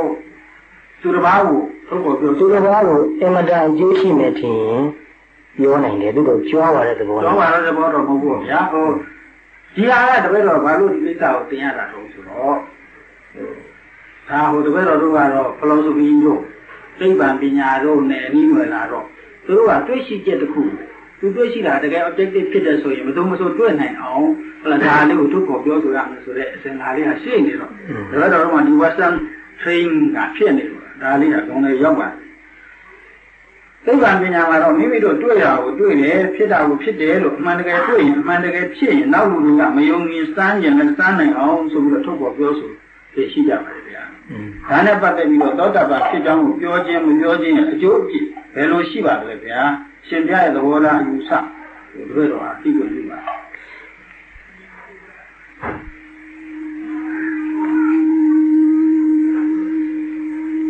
ပြောလိုက်ခြင်းအပြင် သူပြီးတော့ဘုရားထုတ်ဖို့ဝိရိယကောင်းလာမဲ့လူမျိုးရှိပြောတင်တယ်တို့တော့တမန်တော်စမ်းရင်တဲ့ဘုရားမျိုးနဲ့မိလာရင်တော့ဒါဖြစ်ဖို့မလိုလို့ဟိုဝါကြွားတဲ့သဘောတော့မဟုတ်ဘူးဗျာ။ဟိုသူ့ကိုအကျိုးရှိသွားစေအကျိုးရှိနေဆိုရင်ပြောနိုင်ပြောနေဟုတ်ဗျာဟိုရှိရလည်းပဲပါဠိပြေထဲမှာဒီလိုပြောခဲ့တဲ့ထောက်ထားလေးရှိတယ် တော့များသောအားဖြင့်တော့ယဟန်ဆိုတော့ယဟန်ချင်းရဲ့တခါတလေပြောလို့ရှိတယ်ဒါလည်းအားပေးခြင်းတဲ့သဘောပါဟိုမိမိကိုယ်ကိုဂုံအဆင့်တန်းတစ်ခုကိုရောက်နေတဲ့ပုဂ္ဂိုလ်ဆိုတဲ့သဘောမျိုးနဲ့ပြောနေတဲ့သဘောမဟုတ်ဒီတရားအားထုတ်လို့သိရှိလာတဲ့အသိဉာဏ်နဲ့ပတ်သက်တဲ့နေရာမှာဘွယ်ထုဂုံကြီးတစ်ခုရတယ်ဆိုတဲ့သဘောထားမျိုးကလုံးဝမရှိတင်ဘူးရှိလည်းမရှိဘူးရှိဘူးပါရှိပါအမှန်တော့ဟို ပြောရမှာဥပမာတော်မကြီးတည်စဉ်းစားလို့မရဘူးတက္ကသိုလ်ကဘွဲတစ်ခုရတယ်လို့ယာရုတစ်ခုရတယ်လို့မဟုတ်ဟုတ်ဘူးဘူးသူတို့က humble ဖြစ်သွားလိမ့်မယ်ဒီမှာနော်ဖြစ်သွားသူပါတို့က humble ဖြစ်တယ် simple ဖြစ်တယ် honest ဖြစ်တယ်ဟို boasting ဆိုတာမျိုးတွေမဖြစ်နိုင်တော့ဟုတ်ပါဘူးနော်အမှန်တကယ်အကျိုးရှိနေထင်ရင်အားပေးခြင်းတဲ့သဘောတိုက်တွန်းခြင်းတဲ့သဘောအားမငင်နဲ့အားမလျှော့နဲ့ယူသားပါဆိုတဲ့သဘောမျိုးနဲ့ပြောမယ်ပြောတာမျိုးတွေရှိတယ်ပြောနိုင်တယ်ပြောကောင်းတယ် ဘယ်တော့ကမတိတဲ့လူတွေအားလုံးကိုတော့တင်းကျုံပြီးပြောလို့မရှိဘူး selectively တော့ပြောလို့ရှိတယ်ဟောပြောတဲ့ပြောတတ်တယ်လို့อืมလူဆနိုင်လောက်တဲ့လူပေါ့သူလည်းတကယ်အားထုတ်နေတဲ့ပုဂ္ဂိုလ်ဟုတ်လားသူအားမလျှော့အောင်ဇွဲမလျှော့အောင်ဆိုတဲ့အကျိုးရှိအောင်အကျိုးရှိတယ်ဒီဆိုလိုတဲ့ဆန္ဒနဲ့ဟုတ်တယ်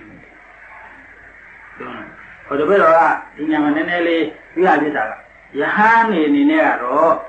ခုနပြောသလိုဒါဝါကြွားတဲ့သဘောများဖြစ်သွားလို့ရှိရင်ပါရဇိကံကကြောက်အောင် အဲယဟန်နေနဲ့တကယ်ဟုတ်လို့ပြောရင်တော့ပါဠိကတော့မကြောက်ဘူးပါစိတ်ပဲတဲ့ ပါစိတ်ပဲတဲ့လေပုံမဟုတ်ဘူး မဟုတ်ပဲနဲ့ပြော မဟုတ်ပဲနဲ့ပြောရင်တော့ မဟုတ်ဘူးနဲ့ပြောရင်တော့ဟုတ်ပါ လူအနေနဲ့ကတော့မဟုတ်ပဲပြောလို့ပဲဘာပါရဇိကံတို့ဘာလို့ဖြစ်เสียမှမရှိဘူး မရှိဘူး လူအနေနဲ့ကတော့သူအမှန်ဖြစ်တယ်ဆိုရင်ပြောလို့တော့ဘာမှ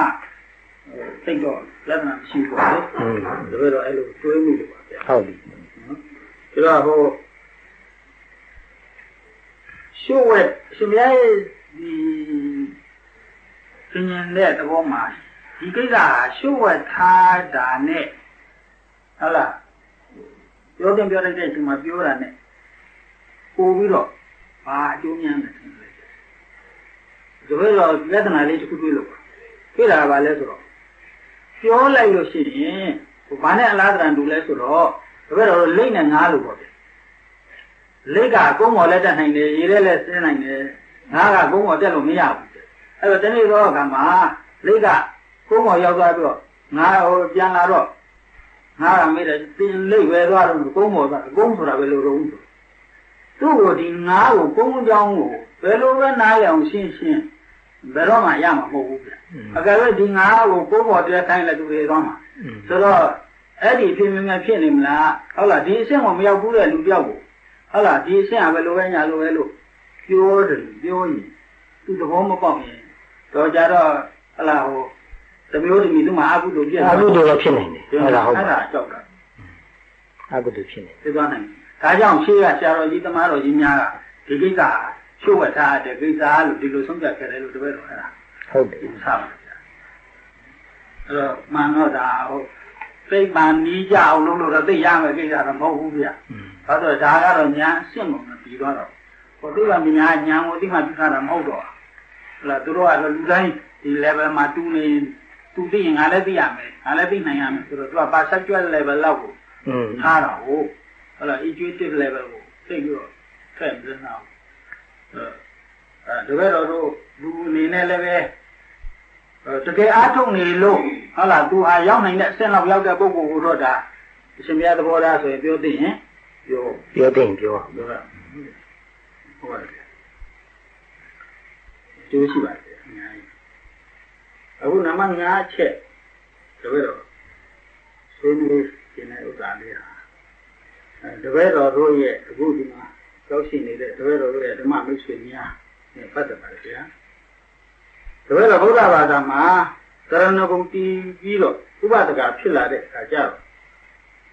တပည့်တော်ရဲ့စိတ်ထဲမှာငါဟာရခဲ့လာတဲ့ဒီသာသနာတော်ကြီးကိုရပြီအရတော်လေးစွာငါလူဖြစ်ရကျွန်းလည်းပဲဒီသာသနာတော်ကြီးကိုရတာအလုံးအလုံးငုံမြောက်ကိုကောင်းတယ်လို့မှတ်တယ်ပါဗျာဟုတ်ပါတယ်နော်သို့တော်လည်းပဲဘုရားဘာသာနယ်ပယ်တဲ့ကိုရောက်ပြီးတပည့်တော်ယုံဒီရောနောဆက်ဆံရတဲ့မိယောဗလာဗုဒ္ဓဘာသာဒီအဲတွေ့တဲ့အခါကျတော့ဒီပုဂ္ဂိုလ်တွေဟာမိမိတို့ရဲ့ဘဝ တက်လန်းအတွက်ဗုဒ္ဓဘာသာကိုအသုံးမချဘဲနဲ့ဖြစ်ထားတယ်လို့တပည့်တော်စိတ်ထဲမှာခံစားရတယ်အဲ့ဒီလိုပဲခံစားရပါတယ်ကျွန်တော်ဗျအလွယ်ဆုံးပြောရင်ဗုဒ္ဓဘာသာမှာတရဏဂုံယူရဲဆိုတာအောက်ဆုံးအပေဘေးကတော့လွတ်ခြင်းဒါလွတ်လွတ်ရမှာပေါ့ဗျအဲ့တော့ဝိနိပါဒဘေးကလွတ်ဖို့ဆိုပြီးတော့ဒါနောက်ဆုံးတရဏဂုံပြီးသွားလို့ရှိရင်ဒါလွတ်ဖို့ဆိုတဲ့သဘောကလေးအပေတကားပိတ်ဖို့ဆိုတဲ့သဘောကလေးခန္ဓာ အာယတနာဓာတ်ကိုသိဖို့ဒိဋ္ဌိကိုပေဖို့ဒီညာတပရိညာနဲ့အဆင့်ကိုရောက်အောင်တော့မလုပ်ကြဘဲနဲ့အန္တာပုရုဇဉ်မြတ်ကမ်းမြတ်ဘဝနဲ့ပဲတဘဝကိုအဆုံးခံသွားကြတယ်ဒီဘက်ညီးနေရပါအဲ့တော့ဘယ်တစ်ချိန်ကြာသွားလို့ရှိရင်သူပရိကုံဘဝကိုတစ်ခေါက်ပြန်ရောက်ဖို့ဟာဘယ်လောက်ခက်ခဲတယ်ဆိုတော့ဘုရားဟောထားတာလေလည်းများချက်ဘုရားတာဆိုလို့တွေ့ရအဲ့တော့ဒါဟာဘုရားဟောမှလည်းရှိတယ် ဗုဒ္ဓဘာသာလည်းမိဘရိုးရာဖြစ်လာကြပါတယ်ဆိုပြီးဗာလင်းနဲ့ဒီရခဲ့တဲ့ဘဝကြီးကိုရတဲ့ခဏလေးမှာမိမိတို့ဟာနောင်တဘဝဒီဘဝသိမှာပဲဗျဒီဟုတ်လားဝိပရိနာမဘေးကတော့မလွတ်ဘူးသိမှာပဲသိလို့ရှိရင်ဟုတ်လားဒီအပေတကားကလေးပိတ်အောင်လောက်ကလေးမှလုပ်ဖို့စိတ်မစောပဲနေကြတာတကယ်တော့စိတ်ထဲမှာသူတို့မသိကြလို့ပဲလားဒါမှမဟုတ် သိလျက်နဲ့ပဲလောကီမှာမစင်းရရင်ပြီးရောဒီဘဝမှာခံစားသွားရရင်ပြီးရောဆိုတဲ့သဘောထားနဲ့ပဲဒီလိုနေနေကြတာလားအဲ့ဒါလေးကိုတကယ်တော့စိတ်ဝင်စားတာပါอืมအများစုဟာတရဏဂုံယူထားကြပါလေရတယ်အပေသေးတန်းတန်းနဲ့ဘဝစခန်းသွင်းနေကြတယ်တပည့်တော်မြင်တွေ့နေရတယ်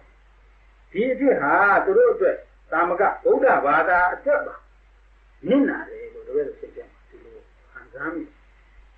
ဒါကြောင့်ဘာသာကြားတွေကတပည့်တော်တို့နဲ့တွေ့တဲ့အခါမှာသူတစ်ဖြင့်ခရိယန်တွေဒေဒီဆရာတော်ဘုရားကိုမေးထားတဲ့မေးခွန်းတွေရှိပါတယ်အဲ့ဒီမှာဟိုဘုရားဘာသာအားတဲ့အပေဒီ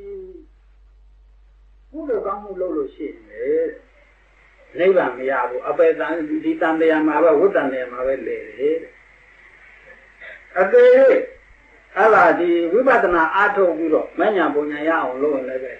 တခါတဲ့အသေးဆုံးကြီးနဲ့ဘယ်တော့မှပြန်မလာတဲ့အသေးနဲ့သေးရတယ်တဲ့အဲ့တော့ဟိုလိုလုပ်ရင်လည်းပဲဟာလာဟိုထောင်းတန်းတစ်သက်ဒီလိုလုပ်ရင်လည်းပဲဟိုတခါတဲ့တစ်သက်ကြုံမဟုတ်ဘူးစက်တိုင်မှာတင်တယ်ပေါ့အဲ့လိုအဖြစ်ရှုံးကြီးနှစ်ခုနဲ့ရှုံးရှုံးနေရတယ်လို့ဖြစ်နေတဲ့ဘာသာကြီးပါဆိုဆိုဆိုထားတာရှိပါတယ်ဆိုတော့ တပည့်တော်တို့ဒီလိုဒီဘာသာကြားတွေနဲ့ရင်ဆိုင်ရတဲ့အခါလေးပဲသူတို့ရဲ့စိတ်ထဲမှာဘုရားဘာသာကိုယ်ဝင်နေပြီးတော့ခမရတို့အပေပေးကလွတ်လွတ်လားဟုတ်လားဆိုရင်လည်းဒါဟာအမြဲတမ်းမှဒီတပည့်တော်တို့ဘုရားဘာသာဘက်ကဟင်းနာတယ်လို့ပြောတယ်မြင်ပါတယ်ဗျာဟုတ်ပါတယ်ဒါဒီလိုဆိုတော့ဒီနိုင်ငံတွေမှာတပည့်တော်ဘုရားဘာသာကို အခြေခံခိုင်ခိုင်မာမာနဲ့အုံမြင့်ချမယ်ဆိုရင်ဘာလုပ်ပါလဲဘာလုပ်ရမလဲအမြဲတမ်းနေထိုင်သွားနိုင်ဆိုင်သွားနေပြီပဲတရားနှလုံးသွင်းတတ်တဲ့အလေးချင်းတရားထုတ်တတ်တဲ့အလေးချင်းဖြစ်တော့လုံးဒါမှဘဝဒါဒီလိုဆိုတော့ဒီနိုင်ငံတွေမှာဒါပေမဲ့ဘုရားဘာသာကိုအခြေခံခိုင်ခိုင်မာမာနဲ့ပုံရင်ချမယ်ဆိုရင်ဘာလုပ်ပါဘာလုပ်ရလဲ ဘာကိုအရင်လုပ်မှဖြစ်မလဲလို့တကယ်တော့စဉ်းစားပါလေအဲ့လိုစဉ်းစားတဲ့အခါမှာဘုရားဘာသာကိုကိုးကြတဲ့လူတွေအတွက်အောက်ထစ်ဆုံးဘုရားဘာသာအဆုံးအမများရဲ့အကျိုးကိုခံစားရအောင်ဆိုရင်ဒီနိဗ္ဗာန်မဲ့ပုံမရသေးဘူးပဲထားတော့ဗျာတည်သွားလို့ရှိရင်သုရိဘုံလေးရောက်အောင်တည်လိုက်နိုင်တယ်ပေါ့ဗျာဟောအဲ့လောက်တော့ဖြစ်တယ်အဲ့လောက်တော့အနည်းဆုံးကဖြစ်တယ်တရားနဲ့ပုထုဇဉ်တော့ဖြစ်တယ်နော်အဲ့ဒါကြောင့်သေသေးချာချာလွတ်လာကြည့်တဲ့ကမိယိုးဗလား အားဖြင့်ဗုဒ္ဓဘာသာကိုကိုးကွယ်တဲ့ဆိုဆိုဒါနတွေသီလတွေဘယ်လောက်ပဲလုံးလုံးဒီပုဂ္ဂိုလ်ဟာသူ့ကိုယ်သူအောက်ထစ်အန္တဇင်ဘွားကကလျာဏပုရုဇဉ်ဖြစ်အောင်ဒီဘဝမှာမလုပ်ခဲ့နိုင်လို့ရှိရင်တော့ဖြင့်သူဟာလူဖြစ်ရှုံးပြီတကယ်တော့ဒီလိုပဲမြင်ပါရဲ့ဒါကြောင့်ဒီလိုလူတွေအဲဒီလိုဗုဒ္ဓဘာသာဝင်တွေပေါ့ဒီလူဖြစ်ရှုံးဘဝကကဲနေအောင်ဟုတ်လားလူဖြစ်ရှုံးဘဝကတစ်ဆင့်ကလေး ဟို escalator လေးပေါ့အရိယာလမ်းရဲ့ escalator လေးပေါ့ရောက်ပထမအထစ်တင်ပေးလိုက်ရင်သူဟိုဘက်ကိုဆက်သွားတော့မှာပေါ့ဆိုတော့အဲ့ဒီပထမအထစ်တင်ပေးမယ်အလုပ်ကလေးဟာဒါမရှိမဖြစ်လို့အပ်တဲ့အလုပ်တရားလို့ပြောလို့ဖြစ်တယ်ဒီလိုဖြစ်ပါတယ်ဒါကြောင့်မလို့တကယ်တော့အခုဒီပုဂ္ဂိုလ်တွေအားလုံးပါဝင်တော့ဗျာဆိုတော့ကလျာဏပုရုဇဉ်ထွန်းကားရေးဆိုဟုတ်လား development တော့ကလျာဏပုရုဇဉ်ဆိုအဲ့ဒီစင်တာတစ်ခုလုပ်ဖို့တကယ်တော့ဒီတိုင်းနေပါတယ်ဗျာအဲ့ဒါနဲ့ပတ်သက်ပြီးတော့ အရှင်ဘုရားတပည့်တော်ခံစားသဆိုအခုတော့အရှင်ဘုရားလည်းထောက်ခံနေပါလို့ဗျာအဲ့ဒါနဲ့ပတ်သက်ပြီးတော့တပည့်တော်တို့ဘယ်လိုလုပ်တင်လဲအဲဘယ်လိုကြံတင်တယ်ဟုတ်လားဘယ်လိုဆောင်ရွက်တင်တယ်ဆိုတာလေးတွေအကြံဉာဏ်တော့ဗျာသင်္ကြန်ရဲ့အရှင်ဘုရားပေးပါလို့တပည့်တော်ဆောင်းဆောက်ထားပါတယ်အခုမှမဟုတ်ဘူးဒီကကြီးဘုရားထက်ခဲကဘုရားကိုဖူးရပါလိမ့်နဲ့မဲ့ဖို့မလိုချင်ဘူးဆိုတဲ့လူရှိတယ်ဘုရားကိုကြည်ညိုတယ်ဘုရားတရားကံကိုကြည်ညိုတယ် ဒါမှသူတို့ပုံမလည်းလည်းမဲ့ဝန်ခံတယ်တပည့်တို့မဲ့ဖို့နေပါတော့မလိုချင်ဘူးအဲ့တော့အခုခေတ်မှာမလိုချင်တဲ့လူတွေများနေတာကတော့ပြောဝယ်ရမရှိဘူးနော်ဒါတစ်ချက်ပေါ့နော်တချို့ဘုရားထက်ခဲလျှောက်တယ်မြတ်စွာဘုရားတပည့်တို့ကအဲကိုအိမ်တော်နဲ့လည်းနေခြင်းပါတယ်တာရီသမီးနဲ့လည်းနေခြင်းပါတယ်ရွှေငွေကြောက်တံမရငါးတွေလည်းပဲဝတ်ဆင်ပြီးအလှပြင်ပြီးလည်းနေခြင်းပါတယ်ကောင်းကောင်းမွန်စားတတ်ပြီးနေခြင်းပါတယ်တဲ့အဲ့တော့ဘဝတဏှာမှာအဲ့လိုနေရအောင်ဘာလို့ရင်ကောင်းမလဲလို့မေးလျှောက်လို့မြတ်စွာဘုရားဖြေဘူးတယ်နော်အဲ့တော့တရားကြီးအနေနဲ့စဉ်းစားကြည့်မြတ်စွာဘုရားလို့ ဘုရားကိုကိုယ်တိုင်ဖူးတွေ့နေရပါလျက်နဲ့တဏှာမှာကောင်းကောင်းရင်ကိုလောက်ပဲသူတို့တောင်းလိုက်တယ်ဒီကလေးတောင်းတယ်တန်တရားလူမြောက်ရေးသူတို့မလို့ချင်ဘူးနော်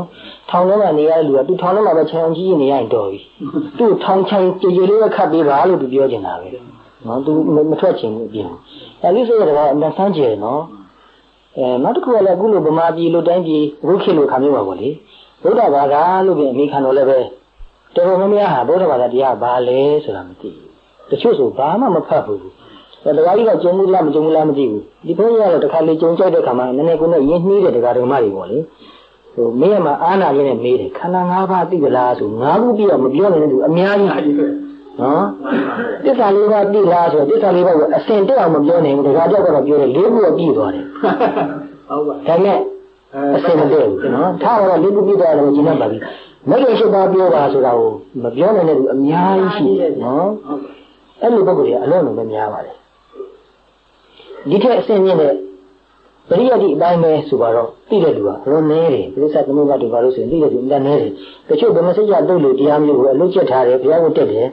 အတိတ်ပဲမသိဘူးနော်ကိုယ်ခန္ဓာမှာကိုယ့်ရဲ့စိတ်ထဲမှာတစ်ခါတလေစိတ်ဆင်းရဲလာတဲ့အခါကြည့်လိုက်လို့ရှိရင်ငါဘာလို့စိတ်ဆင်းရဲပါလဲလို့ကြည့်ရင်အကျမ်းပြင်းသမုဒ္ဒိသနယ်ထဲမှာကိုပဲနော်သမုဒ္ဒိသအမြင်နဲ့ကိုပဲငါစိတ်ဆင်းရဲတာငါအလိုမပြည့်လို့ဆိုတာမြင်နိုင်တယ် အဲ့ဒါလောက်ကိုမြင်အောင်မကြည့်တဲ့သူတွေအများကြီးရှိတယ်နော်အဲ့တော့ဘယ်လိုလုပ်ပြောရမလဲ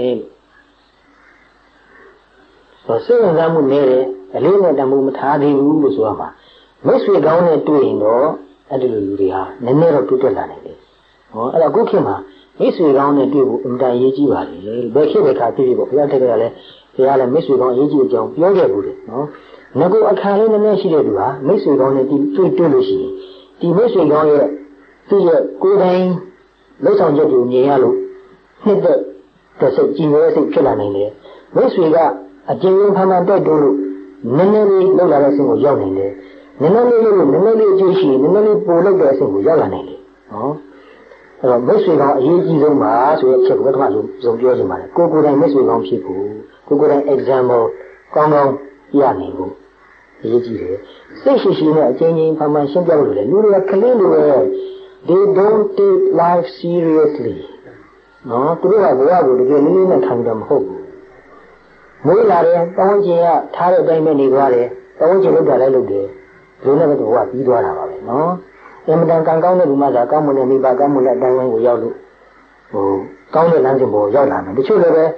မေတ္တာဒိဋ္ဌိအတိုင်းဝိုင်းတွေရောက်သွားပြီမယ်ဒီဇွန်းတက ကြားလိုက်လို့မိမိရဲ့ဓာတ်ခံရှိလို့ရှိရင်ဒါလေးကိုအလေးနဲ့ကောင်းတဲ့ထားပြီးစဉ်းစားရရင်တဖြည်းဖြည်းလမ်းပွင့်သွားတာလည်းရှိမှာဒါပေမဲ့အဲ့ဒါကအင်မတန်နည်းပါလေတခုပြောချင်တာလေတခုအခုဒီစကားနဲ့ဆက်ဆက်တော့ဆက်ဆက်တယ်တို့တော့ဟိုဒါရိုက်ကြည့်မဆက်ဆက်တာလူဘဝကိုရလာတဲ့ဆိုတဲ့ကူကကုသိုလ်စိတ်ကြောင့်နော်မြင့်မြတ်တဲ့စိတ်ကြောင့်ရောက်လာတာနော်အဲ့တော့လူတွေရဲ့ဘဝတန်မြာနဲ့ပတ်သက်တဲ့အကြောင်းအရာတွေကိုနည်းနည်းလေ့လာကြည့်တဲ့အခါမှာ တချို့လူတွေကိုဘဝနောက်ကျောင်းကိုပြန်ခေါ်ခိုင်းလို့ရတာရှိတယ်တချို့ကတော့ကိုယ့်အကူပြန်သိတာလည်းရှိတယ်တချို့က hypnotize လုပ်တော့ regress လုပ်သွားတယ်နော်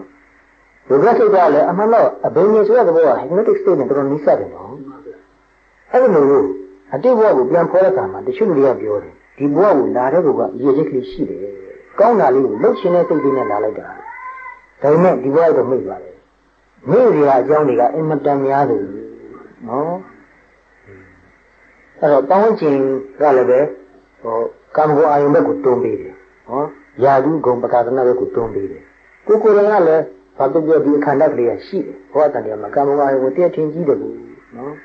အဲ့ဒါဒီကိုပါခဲ့ဖို့များတယ်ကလျာဏမိတ်က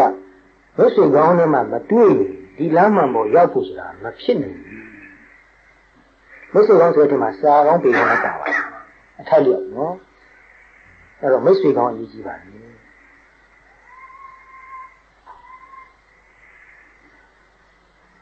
တပတ်တော်တို့ဘုကလျာဏပုရုဇဉ်ထွန်းအားရေးဆိုပြီးတော့ movement တစ်ခုပါအဲ့ဒါလေးလုပ်တင်တယ်လို့တပတ်တော်တို့ဆိုင်ပြီးတော့စပါလုံးတင်ပါလေကျွန်တော်ပြန်အဲ့တော့လုပ်တဲ့အခါမှာ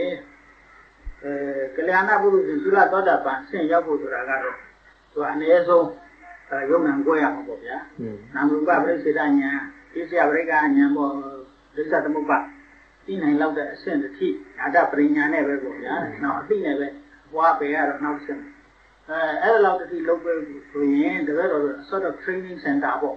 အဲရိက္ခာခေါ်မှာပေါ့ဗျာဒီလိုမျိုးတစ်ခုလုပ်တင်တယ်လို့တကယ်တော့တို့ကစဉ်းစားနေပါဗျာအဲ့တော့အဲ့လိုလုပ်တဲ့အခါမှာအရှင်ဘုရားနဲ့တွေ့တော့တပည့်တော်စိတ်ထဲမှာအားရှိလာတာသူရှိတယ်အဲ့ဒါပါလဲဆိုတပည့်တော်ကသူတို့ကိုပြောတယ် ဒီလိုစင်တာကိုမြို့ကြီးရဲ့လေကောင်မှာကိလေသာတွေနဲ့ဟုတ်လားအပူကြီးတွေနဲ့ဟုတ်လားမော်ဒကားကြီးတွေနဲ့လာကြတွားကြလုပ်နေတာတော့ကျွန်တော်စိတ်ထဲတည်းမတွေ့ဘူးအဲ့တော့ဒီဥစ္စာဟာအစောတော့ jungle forest retreat ပေါ့ဒီလိုနည်းနည်းတိုးရိပ်တောင်ရင်းနဲ့နေကမတက်ရှိတဲ့ညာမျိုးဖြစ်ရင်တော့ကောင်းမယ်လို့တပည့်တော်ကဒါ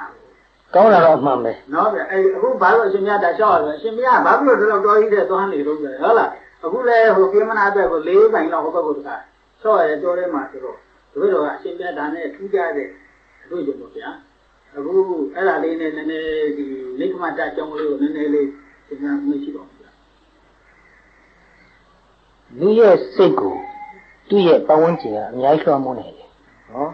လူရဲ့စိတ်ကိုသူ့ပတ်ဝန်းကျင်မှာရှိတဲ့အရာအားလုံးကအနေနဲ့များလွှမ်းမိုးတယ်လွှမ်းမိုးမှုကင်းမှုဆိုတာမဖြစ်နိုင်ဘူးလားနော် ဒါကိုယ်အနိပတ်မှာရှိတဲ့ပစ္စည်းပစ္စည်းတွေအားလုံးကအစစိတ်ပေါ်မှာလွှမ်းမိုးမှုရှိတယ်နော်ပတ်ဝန်းကျင်အတိုင်းဝိုင်းအကုန်လုံးတစ်ခုလုံးပဲလမ်းတွေပါတွေအစကားတွေပါတွေအစဆိုပါတော့နော်အားလုံးကစိတ်ကိုလွှမ်းမိုးတယ်ညတော့အဖြစ်အဲ့ဒီလွှမ်းမိုးမှုတွေကလည်းပဲစိတ်ကိုမတိမငြိမ်ဖြစ်အောင်လုပ်တဲ့လွှမ်းမိုးမှုမျိုးကိုပဲပေးတာများတယ်အမျိုးမျိုးမြင်ရတယ်အမျိုးမျိုးကြားရတာအဲ့တော့ပဝန်းကျင်နေပြီးတော့ပဝန်းကျင်အလျောက်စိတ်ရဲ့သဘာဝပြောင်းလဲတဲ့သဘောလေးရှိတာကိုအမှန်တန် simple ဖြစ်တဲ့ဒါ ရိုးရိုးရှင်းရှင်းလေးဘာမှထူးဆန်းတာလည်းမရှိဘာမှအတန်တော်ကြည့်စရာရှိစရာမရှိအမှန်တန်ရိုးရိုးလေးနဲ့တစ်ပင်တော့တောင်သဘာဝတွေကိုရောက်သွားတဲ့ခါမှာခဏလေးနဲ့ရောက်တော့လည်းပဲစိတ်ကတမျိုးပြောင်းသွားတယ်နော်အဲ့ဒီတောလေးကိုရောက်လာတဲ့လူတော်တော်များများပြောလို့ရှိတယ်ဒီနေရာရောက်လာတဲ့စိတ်ကလေးကိုအေးသွားတာသူတို့ပြောလို့ရှိတယ်နော်အဲဒါတို့ပြန်မေးတယ်ဘာဖြစ်လို့ဒီနေရာရောက်တဲ့ခါစိတ်ကစိတ်အေးသွားတယ်ထင်လို့တချို့ပြန်မပြောနိုင်နော်တချို့နည်းနည်းပါးပါးပြောနိုင်တိတ်နေလို့ပါတချို့ဒီလိုပြောလိုက်တာ နော်တချို့ကလည်းရှင်းနေလို့တော့ပါနော်အဲတော့မှတိတ်နေတယ်ရှင်းနေတယ်နော်ကြည့်စရာဘာမှမရှိနားထောင်စရာဘာမှမရှိကြည့်စရာဆိုရင်တစ်ပင်ရှိတဲ့ငှက်ရှိတယ်နားထောင်စရာဆိုရင်ညှက်တန်လေတိုက်တန်လို့ကြားဘာမှမရှိဘူးနော် entertainment လုံးဝမရှိတဲ့နေရာပဲပြီးတော့အဲ့ဒီမှာနေတဲ့ပုဂ္ဂိုလ်တွေကလည်းပဲအခုကိစ္စမများဘူးဟိုကလည်းတရားဟုတ်တယ်မရှိဘူးအရာအရာကိုအချင်းချင်းထားလိုက်တယ် စားရလည်းအချင်းချင်းလိုက်တာနော်အချင်းချင်းနိုင်တယ်မြတ်အချင်းချင်းလိုက်တာနောက်ထပ်အချင်းချင်းတယ်မကြံလောက်အောင်အချင်းချင်းလိုက်တာအချင်းချင်းလို့နေလိုက်တော့အမှုကိစ္စအမြဲတမ်းနေတော့ညီတဲ့ easy တဲ့သဘောကရှိနေတယ်ဒီလိုပတ်ဝန်းကျင်ကတိတ်ဆိတ်ပြညီတဲ့နေတဲ့နေရာမျိုးမှာကိုကလည်းပဲစိတ်ကိုတဖြည်းဖြည်းနဲ့ညီတဲ့အောင်ကမ္မထဘာဝနာတစ်ခုခုကိုပွားများလိုက်နေဆိုရင်မကြခင်မဲ့စိတ်ကတတိတမာရီနည်းနည်းလေးရလာတယ်အနေထိုင်းလာတယ်စိတ်ကနော်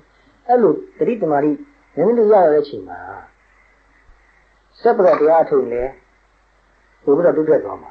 အဲ့ဒီအချိန်မျိုးမှာတရားစကားဆွေးနွေးရဆိုရင်လည်းပဲပို့ပြီးတော့နည်းနည်းရှင်းရှင်းစိတ်ထဲကိုရောက်တယ်နော်ဒီလိုမျိုးစဉ္ညာတဲ့နေရာမှာတရားစာအုပ်ဖတ်ရတာ ਨੇ တော်တဲ့ easy တိတိနေရာမှာတရားစာအုပ်ဖတ်ရတော့မတူဘူးဖတ်လိုက်တဲ့စကားလုံးရဲ့အဓိပ္ပာယ်အမတန်နည်းနည်းသွားတယ် အဲ့တော့မြို့နဲ့တွန်းနဲ့မတူတာတော့အမှန်ပဲဒါကြောင့်လည်းမြတ်စွာဘုရားကတောကိုပဲသိမှုရှိတယ်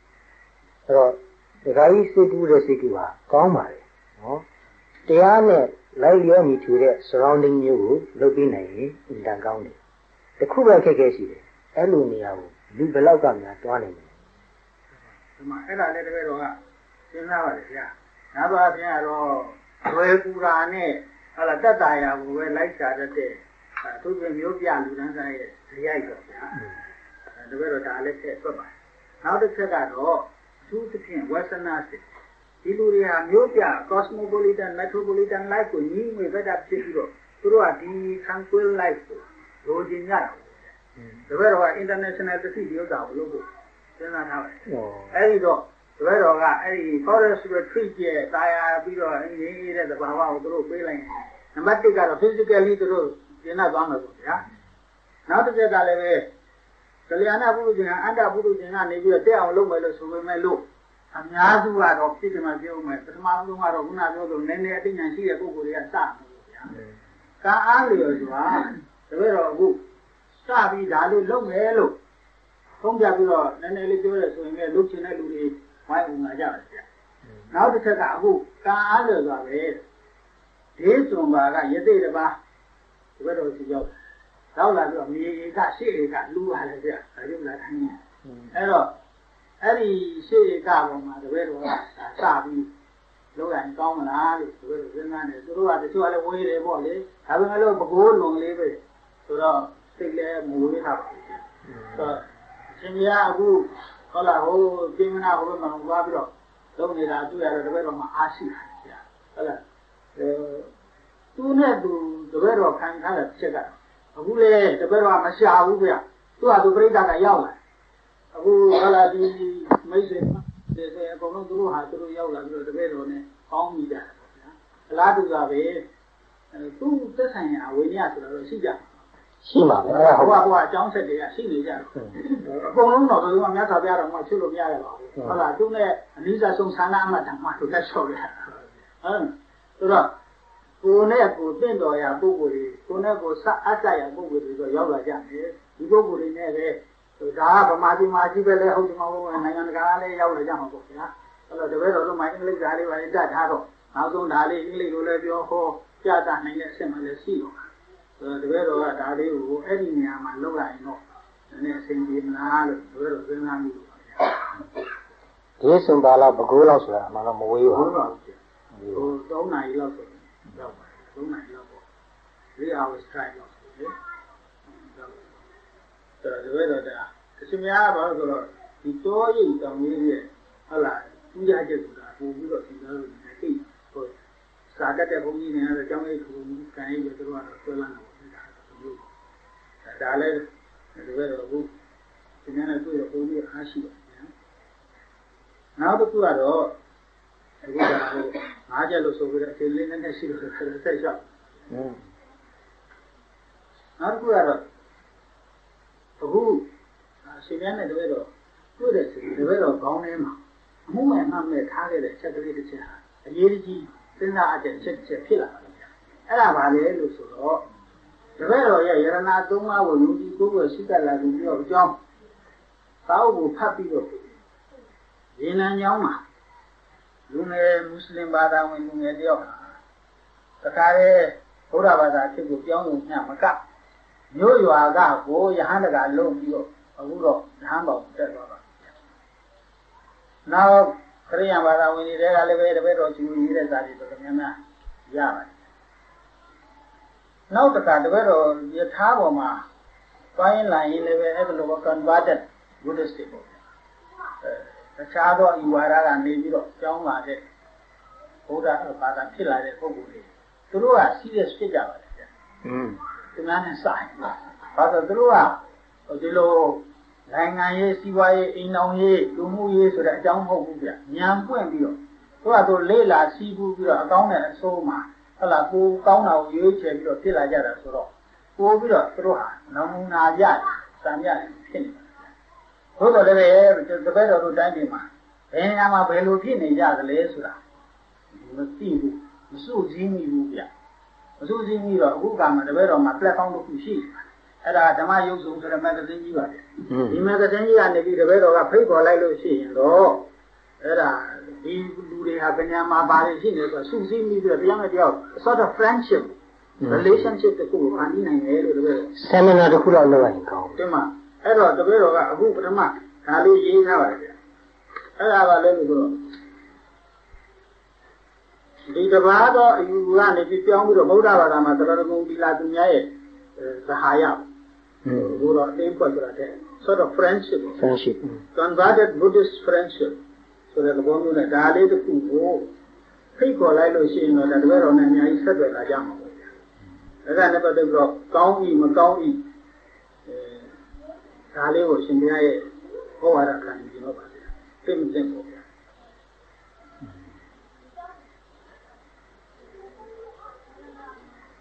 ဒါတရားဘာသာလည်းဘာထိလိုက်ကြတော့ရှိမှာမဟုတ်ပါဘူးထိခိုက်စရာတော့မရှိဘူးဒီလိုပဲလေ့လာနေတဲ့လူတွေအများကြီးရှိတယ်နော်အရရဒီတတွေမှာနိ တခြားခြားဘာသာဝင်မိဘတွေမှာမှုဖော်လာတော့လည်းပဲအကြောင်းမျိုးအကြောင်းဘုရားဘာသာတရားစိတ်ဝင်စားလာတဲ့လူတွေရှိတယ်သူကလည်းမရမကဘူးဗျတချို့ကသူတို့ကသူတို့တရဏဂုံကိုယူထားပြီးသားတွေအဲတချို့ထားပြီးသားရှိတယ်တရားကြီးကျုံမှုဒီလိုပဲဒီဘုန်းကြီးတွေပဲကုနဲ့နိစ္စတဲ့လူတွေမှာဒီလိုပဲကြောင်းကိုလာလိုက်တွားလိုက်နေလိုက်စားလိုက်ကနေတချို့ယဟန်တော်မှာဝတ်တဲ့လူတွေရှိတယ်ခိတ္တခဏဝတ်တာရှိတယ်အမြဲအပြီးတော့လည်းရှိတယ်သိထားတဲ့ပုဂ္ဂိုလ်ရှိပါတယ်အဲ့တော့ဒီလိုပုဂ္ဂိုလ်တွေမှာ သူက convert ဖြစ်လာတော့ပေါ့ဆိုတာသူတို့ပြည့်တယ်လို့သိတယ်သူပြည့်တယ်စိတ်လည်းအမှန်ပြင်းကြတယ်တို့တယ်လည်းသူတို့မှာတည်ရင်တလောက်ကိုပုံမွေလည်းလည်းရင်းနှီးနှီးပြောဆိုဆွေးနွေးဖို့ရအခွင့်အရေးနည်းနေတယ်နော် traditional ဖြစ်နေတဲ့ပုဂ္ဂိုလ်တွေတချို့ကဟိုပြောတဲ့ဆိုတဲ့အခါမှာသူပြောဖို့ဆိုပုံနဲ့သူတို့ convert ဖြစ်လာလူရဲ့ပြောပုံဆိုပုံသူသူနားထောင်ခြင်းနဲ့ သူနားလည်နိုင်တဲ့ပြောပုံဆိုပုံကတမျိုးစီတွားလိမ့်မယ်ဘုရား open minded ဖြစ်မယ်ဘုရား honest ဖြစ်ခြင်းတယ်ယုံယုံနဲ့မယုံမယုံဘူးသိရင်သိတယ်မသိရင်မသိဘူးအခုတော်တော်များဖြစ်နေကြတာဟာတရားနဲ့ပတ်သက်ပြီးတစ်ခုခုပြောပြလိုက်လို့ရှိရင်မသိလို့တိတိဝင်းနေတယ်သိလို့တိတိဝင်းနေတယ်ဘာမှပြန်မပြောဘူးနော်အဲ့တော့တခါလေသိခြင်းနဲ့မမေးရတာရှိတယ်နော်ဟိုဆရာတော်တွေဘုန်းကြီးတွေကိုမေးရမှာအားနာတယ်ကြောက်တယ်အထူးဖြင့် convert ဖြစ်လာတာကြတော့တချို့က ဟိုဘုရားတရားကံကိုသာကြီးကြီးညိုတဲ့စိတ်တော့အပြည့်အဝရှိပြီမဲ့ဘုရားဘာသာစကားပြောဆိုအသုံးနှုန်းကိုမကျွမ်းကျင်ဘူးမကျွမ်းကျင်တော့ကြောက်တယ်ရှက်တယ်ဆိုတဲ့သဘောရှိတယ်အဲဒီလိုပုဂ္ဂိုလ်တွေကိုစူးစီးတော့အကူအညီပေးရရင်တော့အင်မတန်ကောင်းပါပဲအင်မတန်ကောင်းတယ်အဲတခုပဲပြထားလို့ရတာအဲ့ဒီလိုကိစ္စတွေမှာပြောဆိုဆွေးနွေးတဲ့အခါမှာ မူရင်းဘာသာတရားကိုဓာတ်ရိုက်ထိခိုက်ပုတ်ခတ်တဲ့စကားပြောဆိုအသုံးနှုန်းမျိုးကိုလုံးဝမသုံးဘူးပဲနော်ဒီဘုရားအမေရိကန်မှာနေဘူးလေမိုင်မှာလည်းနေရာအနှံ့ပြရောက်ပါတယ်နော်ဘာသာကြားရင်အများကြီးတွေ့တယ်အထူးသဖြင့်ဒီကကြီးတွေပဲဆိုတော့နော်ကိုကိုယ်တိုင်ကလည်းဘိုးတော်ကမြေဖလာကမိဘတွေကမွတ်စလင်ဖြစ်ခဲ့တော့ဘုန်းကြီးစီလည်းမွတ်စလင်တော်တော်များများလာတယ်တချို့ခရစ်ယာန်တွေလည်းလာပါတယ်နော်ဒါတဲ့အခါမှာသူတို့ပြောရဆိုတဲ့အခါ မိဘုရားဘာသာတရားရဲ့တဘာဝကြပုံနဲ့နည်းပုံအကျိုးများပုံလက်တွေ့ကျင့်သုံးရင်ကျင့်သုံးလို့အကျိုးရှိပုံကိုတေချာရှင်းပြတယ်အဲ့တော့အမေရိကန်မှာဆိုရင်တချို့ခရစ်ယာန်ဘုန်းကြီးတွေကိုလည်းလာတယ်နော်ဟိုလူတို့ကိုလည်းကလေးလေးဆဆဆက်ဆံတယ်သူတို့ကခရစ်ယာန်ဘုန်းကြီးပဲဖြစ်ဖြစ်ဘာပဲဖြစ်ဖြစ်လူသားတူဖြစ်တယ်အသိဉာဏ်ရှိလူသားတူဖြစ်တယ်နော်သူတို့ဘာသာကိုမှားတယ်လို့မပြောလို့တခါလူတို့ကိုယ်တိုင်ကမေးလိုက်တော့မှကိုယ်ဘာသာနဲ့ပတ်သက်တဲ့မေးအဖြေကိုသာ ရှင်းပြလိုက်တော့ကြံတော့ကိုယ့်ကိုနှိုင်းရှင်ပြီးစဉ်းစားပါကိုယ့်ကိုဆုံးဖြတ်ပါမှားတယ်မှန်တယ်ကောင်းတယ်ဆိုရလို့မပြောလို့နော်အဲ့လိုခရစ်ယာန်ဘုန်းကြီးတွေက Father Dennis ပဲပြီးဆိုရင်တော်တော်ကိုခင်မင်းနဲ့ယင်းကြီးကသူက Father တော်ဖြစ်နေတဲ့သူပဲနောက်တူကတော့နာမည်ကျစဉ်းစားလို့မရဘူးသူကငဘုံကသူ church မှာသူအကြီးကျယ်နောက်ဆုံးဘုရားဘာသာဖြစ်လာပြီးနောက်မှာယဟန်လည်းဝက်တယ် church ကပြီးဆုံးတယ်ဒီလိုပုဂ္ဂိုလ်လည်းရှိတယ်နော်ဒါဒီလို serious ဖြစ်တဲ့ပုဂ္ဂိုလ်တွေကသူတို့မှပို့ပြီးတော့ အတိညာပွင့်လာအောင်အကူအညီပေးနိုင်မဲ့ဆိုဒီအဖွဲ့အစည်းကြီးရဲ့လှုပ်ရှားမှုဟာသူတို့ငကူနောက်ခံဖြစ်နေတဲ့မွတ်စလင်ပဲဖြစ်ဖြစ်ခရစ်ယာန်ပဲဖြစ်ဖြစ်ဟိန္ဒူပဲဖြစ်ဖြစ်ပေါ့လေသူတို့ဘက်မှာ threaten မလုပ်တယ်လို့မလုပ်ဘူးသူတို့အနေနဲ့လည်းပဲဒီလိုတို့ကို threaten လုပ်လာပြီတို့ကိုလည်းဟိုဘယ်လိုပြောမလဲချင်းချောက်လာပြီတို့ကအနေရရှိတယ်တို့ကလူတွေကသူတို့စီးရင်ကုန်ပြီတာကုန်တော့မှာပဲဆိုတော့စိုးရိမ်မှုမျိုးမဖြစ်စေချင်ဘူး ဘယ်လိုအကြောင်းကြောင့်လဲမှဘသူ့အတွက်မှဘသူ့ကိုမှအကုသိုလ်မဖြစ်စေဘူးဒီတစ်ချက်ပဲတတိထားရရှိတယ်လှုပ်ချင်တဲ့ရည်ရွယ်ချက်ကအမှန်ကောင်းပါလေလူနဲ့လူအပ်တဲ့ကိစ္စပါဟုတ်တယ်ဗျအဲ့ဒီခက်ကလေးတစ်ချက်ပဲနည်းနည်းဥသာပြစဉ်းစားဘာလို့ဒီလိုလုပ်လိုက်လို့ရှိရင်ဘာလို့တပည့်တော်တို့ကိုအထူးသဖြင့်ပေါ်နေတယ်မဟုတ်လားဗျထင်ရှားနေထင်ရှားနေတော့အဲတပည့်တော်တစ်ခုလှုပ်လိုက်ရင်သူတို့တော့ချပြီးတင်ပါရဲ့ဆိုတာမျိုးပြတ်သွားမှလည်းအဲ့ဒါလိုအဲ့လိုမထင်သေးခြင်းဘူးနော် အယူဝါဒနဲ့မတူတော့လည်းပဲတူပေါ်တူလေးစားမှုကတော့ရှိရရှိရမယ်ရှိရမယ်ကျန်တဲ့ဆွဲပြီးတရားဓမ္မဆွေးနွေးနေတာဒီလောက်ပြည့်စုံပြီးတဲ့ဒီမှာကျန်တဲ့ပုဂ္ဂိုလ်များဆွေးနွေးခြင်းလည်းပဲဆွေးနွေးကြပါမဆွေးနွေးလို့ရှင်ရှင်ရဟိုစိတ်ဝင်နေတယ်ဟိုစောစားပြီးရင်စကားမပြောနိုင်ဒီနေ့ဒီနေ့စကားပြောတဲ့နိုင်မနေဘူးလေ ဒီခါလေးည10နိုင်ထိရောက်တာဟုတ်တယ်လူအောင်ဆုံးပြီးတော့ first time ဖြစ်သွားတဲ့ခါနည်းနည်းပြင်ပန်းတယ်ဆိုတော့သုံးရက်လောက်နည်းနည်းဖြားထားတယ်လည်းရှိတယ်ဟုတ်ဟုတ်ပါ